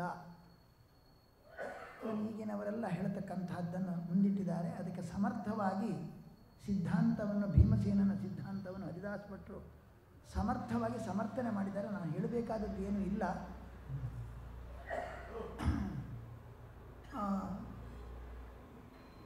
ಒಟ್ಟಿಗೆ ಮೂರು ಕಾರಣ ನಾಲ್ಕನೇದೇನು ಇರುವುದಿಲ್ಲ ಎಂಬ ಮಾತು ಇದರಲ್ಲಿ ಬರ್ತಾ ಇದೆ. ಸ್ಪಷ್ಟವಾಗಿ ದೃಶ್ಯತೆ ಕೆಲವರು ಹಠದಿಂದ ಎಲ್ಲವೂ ನಡೀತದೆ ಅಂತ, ಕೆಲವರು ದೈವದಿಂದ, ಕೆಲವರು ಪ್ರಯತ್ನದಿಂದ ಅಂತ ಹೇಳ್ತಾ ಇದ್ದಾರೆ. ಆದರೆ ಒಂದೊಂದರಿಂದ ಯಾವುದೂ ಅಲ್ಲ. ಕೇವಲ ಯೋಗ್ಯತೆಯಿಂದ ಏನೂ ನಡೆಯುವುದಿಲ್ಲ. ಅಥವಾ ಕೇವಲ ಅದೃಷ್ಟದಿಂದ ಏನೂ ನಡೆಯುವುದಿಲ್ಲ. ಅಂದರೆ ಪೂರ್ವಕರ್ಮದಿಂದ. ಅಥವಾ ಕೇವಲ ಪ್ರಯತ್ನದಿಂದ ಅಲ್ಲ, ಅದು ತಪ್ಪು. ಮುಖ್ಯವಾಗಿ ಹಠ, ಯೋಗ್ಯತಾ. ಯೋಗ್ಯತಾದ ಅನುಗುಣವಾಗಿ ಭಗವಂತ ಪ್ರೇರಣೆ ಮಾಡಿ ನಮ್ಮ ಕರ್ಮ ಮಾಡಿಸ್ತಾನೆ. ಅದು ಪೂರ್ವಕರ್ಮ, ಅದು ಪುಣ್ಯವಾಗ್ಬೋದು, ಪಾಪ ಆಗ್ಬೋದು. ಅದೆರಡನ್ನು ಇಟ್ಕೊಂಡು ಪುನಃ ಭಗವಂತ ನಾವು ಪ್ರಯತ್ನ ಮಾಡಿದರೆ ಫಲಪ್ರದ ಆಗ್ತಾ ಇದ್ದಾನೆ. ಇಲ್ಲಿ ಎಲ್ಲ ಕಡೆಯಲ್ಲಿಯೂ ಕೂಡ ಕಾಮ ಅಥವಾ ಕ್ರೋಧ ಅಥವಾ ಕ್ಷಮ ಇದೆಲ್ಲವೂ ಕೂಡ ಅಸ್ಥಾನದಲ್ಲಿ ಮಾಡಬಾರದು. ಧರ್ಮ ಅವಿರುದ್ಧ ಕಾಮ ಮಾಡೋದು ತಪ್ಪ. ಕ್ರೋಧ ಮಾಡೋದು ತಪ್ಪಲ್ಲ, ಕಾಮ ಮಾಡೋದು ತಪ್ಪಲ್ಲ. ಧರ್ಮ ಅವಿರುದ್ಧ ಕಾಮೋಸ್ಮಿ. ಭಗವಂತ ಹೇಳಿದ್ದೇನು, ಧರ್ಮಕ್ಕೆ ಅವಿರೋಧಿ ಆಗಿರ್ತಕ್ಕಂಥ ಕಾಮ ಮಾಡಬೇಕು, ಕಾಮನೆ ಮಾಡಬೇಕು ಅಂತ. ನಮಗೆ ಜ್ಞಾನ ದೇವರದ್ದು ಬರಬೇಕು ಅಂತ ನಾವು ಕಾಮನೆ ಮಾಡಿಲ್ಲ ಅಂದರೆ ದೇವರ ಅನುಗ್ರಹ ಆಗಬೇಕು ಅಂತ ನಾವು ಕಾಮನೆ ಮಾಡಿಲ್ಲ ಅಂದರೆ ದೇವರು ನಮಗೆ ಬೇಕು ಅಂತ ಕಾಮನೆ ಮಾಡಿಲ್ಲ ಅಂದರೆ ಉದ್ಧಾರ ಆಗೋದಿಲ್ಲ ಹೇಗೆ? ಕಾಮ ಎಂಬುದು ಅದು ಅಸ್ಥಾನದಲ್ಲಿ ಕಾಮ ಮಾಡಿದಾಗ ದುಷ್ಟ ವಿಷಯಕವಾದ ಕಾಮ, ಅದು ದೋಷ. ವಿನಃ ಅದು ಸರಿಯಾದ ಧರ್ಮ ಅವಿರೋಧಿಯಾಗಿರ್ತಕ್ಕಂತಹದ್ದು ಯೋಗ್ಯ ಯೋಗ್ಯ ವಿಷಯದಲ್ಲಿ ಕಾಮ ಎಂದು ಅದು ಪುರುಷಾರ್ಥ, ಅದು ತಾರಕ ಅಂತ ಇದೇ ಭೀಮಸೇನೇ ಸ್ಪಷ್ಟವಾಗಿ ಹೇಳಿದ್ದಾನೆ ಭೀಮಸೇನ ದೃಷ್ಟ ಇಲ್ಲಿ ಹೇಗೆ ಕಾಮ ಎಂಬುದು ಎಲ್ಲದಕ್ಕಿಂತಲೂ ಶ್ರೇಷ್ಠ ಅಂತ. ಕೆಲವರು ಧರ್ಮ ಹೇಳೋದು ಅರ್ಥ ಹೇಳಿದ್ರು. ಕಾಮ ಇದ್ರೆ ತಾನೇ, ನಿಮಗೆ ಇಚ್ಛೆ ಇಲ್ಲ ಅಂದರೆ, ಕಾಮ ಅಂದರೆ ಏನು ಇಚ್ಛೆ? ನನಗೆ ದೇವರ ಅನುಗ್ರಹ ಆಗಬೇಕಂತ ಇಚ್ಛೆ ಇಲ್ಲ ನೀವು ಉದ್ಧಾರ ಉದ್ಧಾರ ಆಗಲಿ ಸಾಧ್ಯ ಉಂಟಾ? ಹಾಗಾಗಿ ಎಲ್ಲವುದಕ್ಕಿಂತಲೂ ಶ್ರೇಷ್ಠವಾದದ್ದು ಕಾಮ. ಕಾಮ ಅಂದರೆ ಅದು ಸದ್ವಿಷಯಿಕವಾದ ಕಾಮ ಆದರೆ ಅದು ತಾರಕ. ಅದರಿಂದ ಮೋಕ್ಷ, ಮೋಕ್ಷವನ್ನು ಪಡೆಯಬಹುದು. ಹಾಗಾಗಿ ಸರ್ವಶ್ರೇಷ್ಠವಾದದ್ದು ಅದು ಸ ಯಾವುದು ಕಾಮ ಅಂತ, ಅದು ಸದ್ವಿಷಯಕ ಆದಾಗ ಅದು ನಮಗೆ ತಾರಕವಾಗುತ್ತೆ. ಹಾಗೆ ಕ್ಷಮಾನೂ ಕೂಡ ಸಜ್ಜನರಲ್ಲಿ ಕ್ಷಮ ಎಂದು ತಾರಕ. ಇವತ್ತು ನಮಗೆ ಅತಿರೇಕವಾದ, ಎಲ್ಲ ನಾವು ಬಾಯಿ ಬಿಟ್ಟು ಹೇಳಬಾರ್ದು. ಅಹಿಂಸಾ ಅಹಿಂಸಾ ಅಂತ, ಅಹಿಂಸಾದ ಸಂ ಭಾಳ ಬಹಳ ಅಹಿಂಸಾ ತತ್ವವನ್ನು ಮುಂದಿಟ್ಕೊಂಡು ದೊಡ್ಡ ಚಳವಳಿ ನಡೀತು. ಆದರೆ ಇವತ್ತು ಅತಿಯಾದ ಅಹಿಂಸೆಯಿಂದ ಎಷ್ಟು ಹಿಂಸೆಯನ್ನು ನಾವು ಈ ರಾಷ್ಟ್ರ, ಈ ರಾಷ್ಟ್ರದ ನೇತಾರರು ಅನಿಸಿಕೊಂಡರು ಅಹಿಂಸಾವಾದವನ್ನು ಚೆನ್ನಾಗಿ ಮಂಡನೆ ಮಾಡಿದವರು. ಅದು ಅತಿರೇಕವಾದ ಅಹಿಂಸೆಯಿಂದ ಇವತ್ತು ಎಷ್ಟು ಹಿಂಸೆಯನ್ನು ನಾವು ಅನುಭವಿಸ್ತಾ ಇದ್ದೇವೆ, ಅದು ಎಲ್ಲರಿಗೂ ಗೊತ್ತಿದ್ದು. ಹಾಗಾಗಿ ಸಸ್ಥಾನದಲ್ಲಿ, ಯೋಗ್ಯ ಸ್ಥಾನದಲ್ಲಿ ಹಿಂಸೆ, ಯೋಗ್ಯ ಸ್ಥಾನದಲ್ಲಿ ಅಹಿಂಸೆ. ಹೇಗೆ ಯೋಗ್ಯ ಸ್ಥಾನದಲ್ಲಿ ಕಾಮ, ಅಯೋಗ್ಯ ಸ್ಥಾನದಲ್ಲಿ ಕಾಮ ಮಾಡಬಾರ್ದು. ಅದೇ ರೀತಿಯಾಗಿ ಕ್ಷಮೆಯೂ ಕೂಡ ಯೋಗ್ಯ ಸ್ಥಳದಲ್ಲಿ ಮಾತ್ರ ಕ್ಷಮೆ, ಅಯೋಗ್ಯವಾದ ಸ್ಥಳದಲ್ಲಿ ಎಲ್ಲ ಆ ಮಾತು ಧರ್ಮ ಅವಿರುದ್ಧ ಕಾಮೋಸ್ಮಿ ಎಂಬುದರ ಅದು ಹೇಗೆ ಅನ್ವಯವೋ ಹಾಗೆ ಧರ್ಮ ಅವಿರುದ್ಧ ಕೋಪ, ಅದು ಬೇಕು. ಧರ್ಮ ಅವಿರುದ್ಧವಾದ ಕ್ಷಮೆ, ನಿನ್ನದು ಧರ್ಮಕ್ಕೆ ವಿರುದ್ಧವಾದ ಕ್ಷಮೆ, ಇದು ಸರಿಯಲ್ಲ ಅಂತ ಭೀಮಸೇನನ ವಾದ ಆ, ಕಡೆ ಇಲ್ಲಿ ಕಡೆಯಲ್ಲಿ ತುಂಬ ಇದೆ. ಏನಂದರೆ ಇದು ಜ ಧರ್ಮರಾಜನದ್ದು ಇವು ನಾವು ಇವತ್ತೆಲ್ಲ ದೇವರೇ ಎಲ್ಲ ಮಾಡೋದು ನಮ್ಮ ಕೈಯಲ್ಲಿ ಏನಿದೆ? ಇದು ದುರ್ಯೋ ಧರ್ಮರಾಜ ಈ ರೀತಿಯಾಗಿ ಹೇಳ್ತಾನೆ. ದುರ್ಯೋಧನ ಮೊದಲು ಹೇಳಿದ್ದಾನೆ. ಕೇನಾಪಿ ದೇವೇನ ಅದು ಒಂದು ರೀತಿಯಾಗಿ ದುರ್ಯೋಧನ ಪ್ರಜ್ಞೆ. ಧರ್ಮರಾಜನಿಗೆ ಅದು ಕಾಡ್ತಾ. ಯಾಕಂದ್ರೆ ಕಲ್ಯಾವೇಶದಿಂದ ಅವನು ಹೇಳಿರಬೇಕು ಈ ರೀತಿಯಾಗಿ. ಎಲ್ಲ ದೇವ್ರ ಕೈಯಲ್ಲಿದೆ ನಮ್ಮ ಕೈಯಲ್ಲಿ ಏನಿದೆ ಕೇನಾಪಿ ದೇವೇನ ಹೃದಿಷ್ಟಿದೇನ ನಿಯುಕ್ತೋಸ್ಮಿ ಯಥಾ ನಿಯುಕ್ತೋ- ಯಥಾ ನಿಯುಕ್ತೋಸ್ಮಿ ತಥಾ ಕರೋಮಿ. ನನ್ನ ಕೈಲಿ ಯಾವುದೂ ಇಲ್ಲ ಅಂತ ಇದು ದುರ್ಯೋಧನನ ಪ್ರಜ್ಞೆ ಅದು ಧರ್ಮರಾಜನನ್ನು ಕಾಡ್ತು ಆದರೆ ಇಲ್ಲಿ ಕೂಡ ನಮಗೆ ಎಲ್ಲರೂ ಹೇಳೋದೇನು ಎಲ್ಲರೂ ದೇವರ ಕರ್ತ ನಾಹಂಕರ್ತ ಹರಿಕರ್ತ ಹಾಗಾಗಿ ಏಕಾದಶ ಪಟ್ಟಾಗಿ ಹೊಡೆಯುವುದು ನಮಗೇನು ನಾವು ಕ ಅಹಂಕಾರ ಇದ್ದರೆ ಮಾತ್ರ ನಮಗೆ ಲೇಪ ಆಗುತ್ತೆ ಇಲ್ಲದ್ರೆ ನಮಗೆ ಲೇಪ ಆಗೋದಿಲ್ಲ ಅಂತ ಇದ್ಕೊಂಡು ನಮ್ಮ ಕೈಲಿ ಏನಿದೆ ಎಲ್ಲ ದೇವರ ಕೈಲಿದೆ ಅಂತ ನುಣುಚಿಕೊಳ್ಳುವಂಥದ್ದಲ್ಲ. ಯಾಕಂದರೆ ಇದು ಏನು ತಿಳ್ಕೊಂಡಿದ್ದಾರೆ ಅಂದರೆ ಭಗವಂತನ ಸ್ವಾತಂತ್ರ್ಯ ಇರುವುದರಿಂದಾಗಿ ನಮ್ಮ ಕೈಲಿ ಏನೂ ಇಲ್ಲ, ನಾವು ಹೊಣಗೇಡಿತನ ಇಲ್ಲ. ಅದು ಎಲ್ಲರೂ ನಮಗೇನು ಜವಾಬ್ದಾರಿ ಅಂತ ತಿಳ್ಕೊಂಡ್ಬಿಡ್ತಾರೆ. ದೇವರಿಗೆ ಸ್ವಾತಂತ್ರ್ಯ ಇರುವುದರಿಂದಾಗಿ ನಮ್ಮ ಜವಾಬ್ದಾರಿ ಏನೂ ಇಲ್ಲ ಎಂಬುದು ತಿಳ್ಕೊಳ್ಳೋದು ತಪ್ಪು. ನಮಗೇನು ಹಣ ಇಲ್ಲ. ಯಾವುದಕ್ಕಿಲ್ಲ ಅಂದರೆ ಜ್ಞಾನ, ಅದೇ ಹರಿದಾಸ್ ಹೇಳಿದ ಹಾಗೆ, ಜ್ಞಾನ, ಇಚ್ಛ, ಪ್ರಯತ್ನವನ್ನು ಹೊಂದುವ ಯೋಗ್ಯತೆ ನಮಗಿದೆ. ಇದ್ಬಿಟ್ಟು ನಮಗೆ ಜವಾಬ್ದಾರಿ ಬಂತು. ಅದು ಚೆಂದಿನ ದೃಷ್ಟಾಂತ. ಅದಕ್ಕೆ ಇಲ್ಲ. ಜ್ಞಾನ, ಇಚ್ಛಾ, ಪ್ರಯತ್ನ, ಯೋಗ್ಯತೆ ಅದಕ್ಕಿಲ್ಲ. ಅದಕ್ಕೆ ಯಾವ ಜವಾಬ್ದಾರಿಯೂ ಇಲ್ಲ. ಅದು ಮಾಡಿದ ಮಾಡಿದ್ರೆ ಬಿಟ್ಟು ಬಿಟ್ಟು ಆದರೆ ಇದು ಹಾಗಲ್ಲ. ವ್ಯಕ್ತಿ ಹಾಗಲ್ಲ. ಚೇತನ ಹಾಗಲ್ಲ. ಜ್ಞಾನ, ಇಚ್ಛಾ, ಪ್ರಯತ್ನವನ್ನು ದೇವರಿಂದ ಪಡೆಯುವ ಯೋಗ್ಯತೆನ ಪಡೆದಿದ್ದರಿಂದಾಗಿ ಅವನು ಹೊಣೆ ಆಗ್ತಾನೆ. ಅವನಿಗೆ ಹೊಣೆಗೇಡಿತನ ಇಲ್ಲ. ಎಲ್ಲ ದೇವರ ಸ್ವಾತಂತ್ರ್ಯ ಹೇಳಿ ನನಗೇನು ಕರ್ಮ ಇಲ್ಲ. ನಾವು ಹೊಣೆಗೇಡಿ, ಹೊಣೆಗೇಡಿಯಾಗಿ ಇರಲಿಕ್ಕಾಗೋಲ್ಲ. ಎಲ್ಲರೂ ಕೂಡ ಸ್ವಾತಂತ್ರ್ಯವನ್ನು ತಪ್ಪಾಗಿ ಅರ್ಥ ಮಾಡಿಕೊಂಡು ಹೊಣೆಗೇಡಿ ತನದಿಂದ ವರ್ತಿಸ್ತಾರೆ. ಅದು ಸರಿಯಲ್ಲ. ಜ್ಞಾನ, ಇಚ್ಛಾ, ಪ್ರಯತ್ನ, ಭಗವದ್ ಅಧೀನವಾಗಿ ಅವನಿಗೆ ಬಂದಿದೆ ಅಂದರೆ ಅವನು ಸುಖಕ್ಕೋ, ದುಃಖಕ್ಕೋ ಅದೆಲ್ಲ ಫಲವನ್ನು ಅನುಭವಿಸಲೇಬೇಕು. ಕರ್ತ ಶಾಸ್ತ್ರಾರ್ಥವತ್ವ ಯಾಕೆಂದರೆ ವಿಧಿ ನಿಷೇಧ ಯಾರಿಗೆ? ಜಡಕ್ಕೆ ಅದು ತಿಳುವಳಿಕೆ ಇಲ್ಲ. ನೀನು ಹೀಗೆ ಮಾಡು, ಸಂಧ್ಯಾ ವಂದನ ಮಾಡು, ನೀರುಳ್ಳಿ ಬೆಳ್ಳುಳ್ಳಿ ತಿನ್ನಬೇಡ ಅದು ಏನರ್ಥ ತಿನ್ನುವುದೇ ಇಲ್ಲ ಅದು. ಅದಕ್ಕೆ ವಿಧಿ ನಿಷೇಧ ಅದಕ್ಕೆ ಜಡಕ್ಕಿಲ್ಲ ಇನ್ಯಾರಿಗೆ ಹೇಳಬೇಕು? ಜೀವನಿಗೆ. ಜೀವನಿಯೂ ಕೂಡ ಅವನ ಕರ್ತೃ ಅಲ್ಲ ಅಂತ ಹೇಳಿಬಿಟ್ರೆ ವಿಧಿ ನಿಷೇಧಕ್ಕೆ ಅವನು ವಿಷಯನಾಗಿಲ್ಲ ಅಂದರೆ ಇನ್ಯಾರಾಗಬೇಕು ನೀನು ಮಾಡು, ಹೀಗೆ ಮಾಡು, ಹೀಗೆ ಮಾಡಬೇಡ, ಸಂಧ್ಯಾ ವಂದನ ಮಾಡು. ಹಿಂಸೆ ಮಾಡಬೇಡ. ಇದು ಯಾರಿಗೆ? ದೇವರಿಗ. ದೇವರಿಗೆ ಯಾವ ಲೇಪವೂ ಇಲ್ಲ. ದೇವರಿಗೆ ಯಾವ ಲೇಪವೂ ಇಲ್ಲ ಅಂದರೆ ಅವನು ವಿಧಿ ನಿಷೇಧಕ್ಕೆ ವಿಷಯನಲ್ಲ. ಇನ್ನು ಜಡವೂ ಅಲ್ಲ. ಹಾಗಾದ್ರೆ ಯಾರು? ಜೀವನೂ ಅಲ್ಲ ಅಂದರೆ ಬಿಟ್ಟರೆ ಶಾಸ್ತ್ರಕ್ಕೆ ಅರ್ಥವೇ ಇಲ್ಲ ಅಂತಾಯಿತು ವಿಧಿ ನಿಷೇಧ ವಚನಕ್ಕೆ ವಿಷಯವೇ ಇಲ್ಲ. ವಿಧಿ ನಿಷೇಧ ಒಂದು ಹುಚ್ಚರ ಮಾತಿನಂತೆ ಆಗಿಬಿಡುತ್ತೆ. ಆದ್ದರಿಂದಾಗಿ ಹೀಗೆ ಮಾಡಬೇಕು. ಹೀಗೆ ಮಾಡಬಾರ್ದು ಎಂಬುದಕ್ಕೆ ಭಗವಂತ ವಿಷಯನಲ್ಲ. ಜಡಕ್ಕೆ ಬುದ್ಧಿ ಇಲ್ಲ. ಅದು ವಿಷಯ ಅಲ್ಲ. ಇನ್ನು ಜೀವನೋ ವಿಷಯನಲ್ಲ ಅಂದರೆ ಅದು ಅರ್ಥಶೂನ್ಯವಾದ ಮಾತಾಗತ್ತೆ. ಆದ್ದರಿಂದಾಗಿ ಕರ್ತ ಶಾಸ್ತ್ರಾರ್ಥವತ್ವ ಅನೇಕ ಅರ್ಥ ಉಂಟು. ಶಾಸ್ತ್ರದಕ್ಕೆ ವಿಧಿ ನಿಷೇಧ ಶಾಸ್ತ್ರಕ್ಕೆ ಜೀವ ವಿಷಯನಾಗ್ತಾನೆ ಆದ್ದರಿಂದಾಗಿ ಅವನಿಗೆ ಕರ್ತೃತ್ವ ಇದೆ ಅಂತ ಸಿದ್ಧಾಂತ ಮಾಡಿದ್ದಾರೆ. ಆದರೆ ಭಗವದಧೀನವಾದ ಜ್ಞಾನೇಚ್ಛಾ ಪ್ರಯತ್ನಗಳು ಪರ ನಿರಪೇಕ್ಷವಾದ ಜ್ಞಾನೇಚ್ಛಾ ಪ್ರಯತ್ನ ಇಲ್ಲ ಅವನಲ್ಲಿ. ಭಗವದ್ ಭಗವತ್ ಪ್ರಸಾದಿಂದ ಜ್ಞಾನ ಹೆಚ್ಚಾ ಪ್ರಯತ್ನ ಉಂಟಾಗತ್ತೆ. ಮತ್ತು ಅವನು ಪ್ರಯತ್ನಕ್ಕೆ ತಕ್ಕಂತೆ ಸ್ವೇಚ್ಛಾನುಸಾರವಾಗಿ ಫಲವನ್ನು ಪಡೆಯುವಂತಹ ಇದು ಅವನ ಶಕ್ತಿ ಇಲ್ಲ. ಯಾಕೆಂದರೆ ಸ್ವೇಚ್ಛಾನುಸಾರಿತ್ವ, ಸ್ವೇಚ್ಛಾನುಗುಣವಾಗಿ ಎಲ್ಲವೂ ನಡಿಬೇಕು. ಅದು ನಡೆಯುವುದಿಲ್ಲ ಜೀವನದಲ್ಲಿ ಮತ್ತು ಭಗವದ್ ಅಧೀನವಾದ ಜ್ಞಾನ ಹೆಚ್ಚಾ ಪ್ರಯತ್ನ ಅಂದರೆ ಸ್ವಂತ ಅಲ್ಲ. ಅಂತಹ ಫಲ, ಆ ಶಾಸ್ತ್ರದ ಫಲವನ್ನು ಶಾಸ್ತ್ರಾರ್ಥವತ್ವ ಅದನ್ನು ವಿಧಿ ನಿಷೇಧ ಶಾಸ್ತ್ರಕ್ಕೆ ಅವನ ವಿಷಯನಾಗಿದ್ದಾನಂತ ಒಂದರ್ಥ. ಇನ್ನು ಶಾಸ್ತ್ರದಲ್ಲಿ ಹೇಳಿರ್ತಕ್ಕಂಥ ಕರ್ಮವನ್ನು ಅವನು ಮಾಡಿದಾಗ ಪುತ್ರೇಷ್ಠಿ ಆಗಲಿ ಅಥವಾ ಮಳೆ ಬರಬೇಕಂತ ಯಾಗ ಮಾಡಲಿ, ಆ ಶಾಸ್ತ್ರದಲ್ಲಿ ಹೇಳಿದ ಫಲವನ್ನು ಅವನು ಅನುಭವಿಸ್ತಾನೆ ಅಂತಾದ ಮೇಲೆ ಶಾಸ್ತ್ರದಲ್ಲಿ ನಿಷಿದ್ಧವಾದ ಕರ್ಮವನ್ನು ಹೇಳಿದ್ದಕ್ಕೆ ಫಲ, ಏನು ನರಕಾದ್ಯನರ್ಥ ಅದನ್ನು ಅವನು ಅನುಭವಿಸ್ತಾನೆ ಆದ್ದರಿಂದಾಗಿ ಆ ಶಾಸ್ತ್ರದಲ್ಲಿ ಹೇಳಿದ ವಿಧಿ ನಿಷೇ, ಒಳ್ಳೆ ಕೆಲಸಕ್ಕೋ ಕೆಟ್ಟ ಕೆಲಸಕ್ಕೂ ಏನೊಂದು ಫಲವನ್ನು ಹೇಳಿದ್ದಾರೆ, ಆ ಫಲ ಭಾಗಿಯಾಗೋದ್ರಿಂದಾಗಿ ಅವನು ಕರ್ತ. ಶಾಸ್ತ್ರ ವಿಧಿನಿಷೇಧ ವಚನಕ್ಕೆ ವಿಷಯನಾದಿಂದಾಗಿ ಅವನು ಕರ್ತ, ಆದರೆ ಸ್ವತಂತ್ರವಾಗಿ ಅಲ್ಲ. ಅವನ ಅಂತ ಹೇಳ್ತಾ ಇದ್ದಾರೆ ಬಹಳ, ಹಿತ, ಅಹಿತ, ಹಿತ ಅಕಾರಣ, ಅಹಿತ ಕಾರಣ. ಹಿತವಾದದ್ದನ್ನು ಏಕಾದಶಿಯಾದಿ ವ್ರತಗಳನ್ನು ತಪ್ಪದೇ ಮಾಡಬೇಕು ಅಂತ ಅಂದುಕೊಂಡ್ರೂ ಕೂಡ ಮಾಡಲಿಕ್ಕಾಗೋಲ್ಲ. ಇನ್ನು ಅಹಿತವಾದದ್ದನ್ನು ಮಾಡಬಾರ್ದಂತ ಮಾಡಿ ಮಾಡಿ ಮಾಡಿ, ಮಾಡಿಬಿಡ್ತಾನೆ. ಯಾಕೆಂದರೆ ಚಕ್ಕುಲಿ ತಿನ್ನುವಾಗ ನಾಲ್ಗೇನು ಕಚ್ಕೊಳ್ತಾನೆ? ಆದರೆ ಯಾಕೆ ಹೀಗೆ ಮಾಡಿಕೊಂಡ ಅವನು?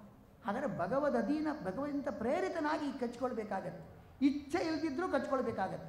ಹಾಗಾಗಿ ಪರಾಧೀನವಾದ ಕರ್ತೃತ್ವ ಜೀವನಿಗೆ ಒಪ್ಪಲೇಬೇಕು ಎಂಬುದನ್ನು ಶಾಸ್ತ್ರದಲ್ಲಿ ಸ್ಪಷ್ಟವಾಗಿ ಹೇಳಿದ್ದಾರೆ. ಹಾಗಾಗಿ ದೇವರು ಎಲ್ಲವೂ ದೇವರೇ ಮಾಡಲಿ ಅಂತ ಹೇಳಿದರೆ ದೇವರು ಎಲ್ಲವುದನ್ನು ಅಪೇಕ್ಷೆ ಇಟ್ಕೊಂಡೇ ಮಾಡ್ತಾನೆ ಅಂತ ಹೇಳ್ತಾರೆ ಆಚಾರ್ಯರು. ಎಲ್ಲವೂ ದೇವರು ಫಲ ಕೊಡೋದು ಅವನು ಸ್ವತಂತ್ರ ಅಲ್ವಾ ಅಂದರೆ ಸ್ವತಂತ್ರ ಆಗಿರ್ಬೋದು. ಫಲ ಕೊಡಬೇಕಾದ್ರೆ ಮೂರನ್ನು ಇಟ್ಕೊಳ್ತಾನೆ.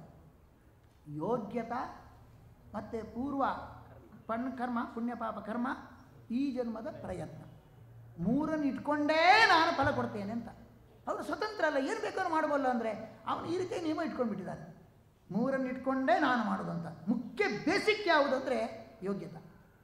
ಆ ಯೋಗ್ಯತಾ ಬೇಸಿಕ್ಕಿನ ಮೇಲೆ ದೇವರು ಆ ಪುಣ್ಯ ಪಾಪ ಕರ್ಮವನ್ನು ಮಾಡಿಸ್ತಾನೆ. ಅದನ್ನು ಇಟ್ಕೊಂಡ್ಬಿಟ್ಟು ಮತ್ತೆ ಮುಂದಿನ ಜನ್ಮದಲ್ಲಿ ಪ್ರಯತ್ನ ಮಾಡಿಸಿ ಫಲ ಕೊಡ್ತಾನೆ. ಎಲ್ಲದಕ್ಕೂ ಮೂಲ. ಬೇಸಿಕ್ ಬೇರೆ ಯಾವ ಮತದಲ್ಲಿ ಅದು ಸರಿ ಹೋಗಲ್ಲ. ಯಾಕೆ ಪೂರ್ವಕರ್ಮ ಪೂರ್ವಕರ್ಮ ಅಂದರೆ ಪೂರ್ವ ಅನಾದಿ ಕರ್ಮನ ಹೀಗೆ ಹೇಗೆ ಮಾಡಿದ್ರು ಉತ್ತರ ಇಲ್ಲ. ಅದಕ್ಕೆ ಯೋಗ್ಯತಾ ಅಂತ ಹೇಳಿಬಿಟ್ರೆ ಸರಿ ಹೋಯಿತು. ಯೋಗ್ಯತೆ ದೇವರು ಮಾಡಿದ್ದಲ್ವೇ ಇಲ್ಲ. ಅದು ಜೀವನ ಸ್ವಭಾವಭೂತವಾದದ್ದು. ಹೀಗೆ ದೇವರು ಎಲ್ಲವುದನ್ನು ಮಾಡಲಿಕ್ಕೆ ಸಮರ್ಥನಾಗಿದ್ದರೂ ಕೂಡ ಒಂದು ನಿಯಮವನ್ನು ಇಟ್ಕೊಂಡಿದ್ದಾನೆ. ಅವರು ಯೋಗ್ಯತಾ, ಪೂರ್ವ ಕರ್ಮ ಮತ್ತು ಈ ಜನ್ಮದ ಪ್ರಯತ್ನ. ಇದನ್ನು ಇಟ್ಕೊಂಡೇ ದೇವರ ಅನುಗ್ರಹ ಮಾಡ್ತಾನೆ. ಇದು ಇಲ್ಲ ಅಂದರೆ ದೇವರ ಅನುಗ್ರಹ ಮಾಡುವುದೇ ಇಲ್ಲ. ಹಾಗಾಗಿ ನಮಗೆ ಜ್ಞಾನೇಚ್ಛಾ ಪ್ರಯತ್ನವನ್ನು ಹೊಂದುವ ಯೋಗ್ಯತೆ ಇರೋದ್ರಿಂದಾಗಿ ಜಡದಂತೆ ನಾವು ಬೇಜವಾಬ್ದಾರಿಯಾಗಿ ವರ್ತಿಸುವ ವರ್ತಿಸುವ ಹಾಗಿಲ್ಲ ಹೊಣಗೇಡಿತನ ಸರಿಯಲ್ಲ ಆದ್ದರಿಂದ ಜ್ಞಾನೇಚ್ಛಾ ಪ್ರಯತ್ನ ಪಡೆಯುವ ಯೋಗ್ಯತೆ ಇರೋದ್ರಿಂದಾಗಿ ದೇವರ ಹತ್ರ ಬೇಡ್ಕೊಳ್ಬೇಕು. ನನ್ನಿಂದ ಪ್ರಯತ್ನ ಮಾಡಿಸಪ್ಪ. ನನಗೆ ಒಳ್ಳೆ ಜ್ಞಾನ ಕೊಡು. ನನಗೆ ಒಳ್ಳೆ ಇಚ್ಛೆ ಕೊಡು ಅಂತ ದೇವರ ಹತ್ರ ಪ್ರಾರ್ಥನೆ ಮಾಡಿಕೊಂಡು ಆ ಜ್ಞಾನೇಚ್ಛಾ ಪ್ರಯತ್ನ ಒಳ್ಳೆಯದಾಗಿ ನಿನ್ನಿಂದ ಮಾಡಿಸು ಅಂತ ದೇವರ ಹತ್ರ ಪ್ರಾರ್ಥನೆ ಮಾಡಿಕೊಂಡು ನಾವು ಪ್ರಯತ್ನ ಪಟ್ಟಾಗ ದೇವರು ನಮಗೆ ಫಲವನ್ನು ಕೊಡ್ತಾ ಇದ್ದಾನೆ. ಇಂತಹ ಇದು ಆಚಾರ್ಯರ ಕುರು ಭುಂ ತ್ವಚ ಕರ್ಮ ಜನ್ಯಂ ನಿಯತಂ ಹರಿಪಾದ ವಿನಮ್ರಧಿಯ ಸತತಂ. ಅಂದರೆ ನಿಯತಂ ಅಂತ. ಎಲ್ಲದೂ ನಿಯತವಾದ ಕರ್ಮ ಮಾಡು. ನಿಯತ ಅಂದರೆ ಒಳ್ಳೆಯ ಅರ್ಥ. ನಿಯತ ಅಂದರೆ ಯೋಗ್ಯತಾ ನಿಯತ. ಯೋಗ್ಯತಾ ನಿಯತ. ಪೂರ್ವ ಪುಣ್ಯಪಾಪದ ಕರ್ಮ. ನಿಯತವಾದಂತಹ ಕರ್ಮ. ಕುರು. ಯೋಗ್ಯತಾ ನಿಯತವಾದ ಸಾಧನ ಗುಣವಾದ ಸಾಧನೆಗುಣವಾದ ಹರಿಚ್ಛಾನಿಯತವಾದಂತಹ ಫಲವನ್ನು ಅನುಭವಿಸು. ಅಲ್ಲಿ ನಿಯತಂ ಎಂಬ ಪದ ಎರಡಕ್ಕೂ ಯೋಗ್ಯತೆಗೂ ಫಲಕ್ಕೂ ಅನ್ವಯ ಆಗ್ತಕ್ಕಂತಹದ್ದು. ಆಗಿದೆ. ಅದನ್ನು ಆಚಾರ್ಯರು ಸ್ಪಷ್ಟವಾಗಿ ಹೇಳಿದ್ದಾರೆ. ಯಾವ ನಮ್ಮ ಪೂರ್ಣಪ್ರಜ್ಞ ವಿದ್ಯಾಪೀಠಕ್ಕೆ ಅರವತ್ತನೇ ವರ್ಷದ ಈ ಸಂದರ್ಭದಲ್ಲಿ ಅವರು ಹೇಳಿದರು. ನಮ್ಮ ಸಹಪಾಠಿ ಸಹಪಾಠಿಗಳು ರಾಮವಿಟ್ಲಾಚಾರ್ಯರು ವ್ಯಕ್ತಿಗೆ ಅರವತ್ತು ವರ್ಷ ಆದ ನಂತರದ ಆರೋಗ್ಯ ಬಗ್ಗೆ ತಲೆ ಕೆಡಿಸ್ಕೊಳ್ಬೇಕಾಗತ್ತೆ. ಆದರೆ ಸಂಸ್ಥೆ ಮಾತ್ರ, ಪೂರ್ಣಪ್ರಜ್ಞ ವಿದ್ಯಾಪೀಠ ಮಾತ್ರ ಒಳ್ಳೆ ಅರವತ್ತು ವರ್ಷ ಆದರೂ ಕೂಡ ಅದು ಒಳ್ಳೆ, ಇನ್ನಷ್ಟು ಬೆಳೀತಾ ಇದೆ. ಕುಗ್ತಾ ಇಲ್ಲ. ಅದು ವೃದ್ಧಿ ಆಗ್ತಾ ಇದೆ. ಯಾಕೆಂದರೆ ವಯಸ್ಸಾದ ನಂತರ ಕುಗ್ತಾರೆ ಅಪಕ್ಷಯ ಅಲ್ಲ, ವೃದ್ಧಿ ಇದೆ.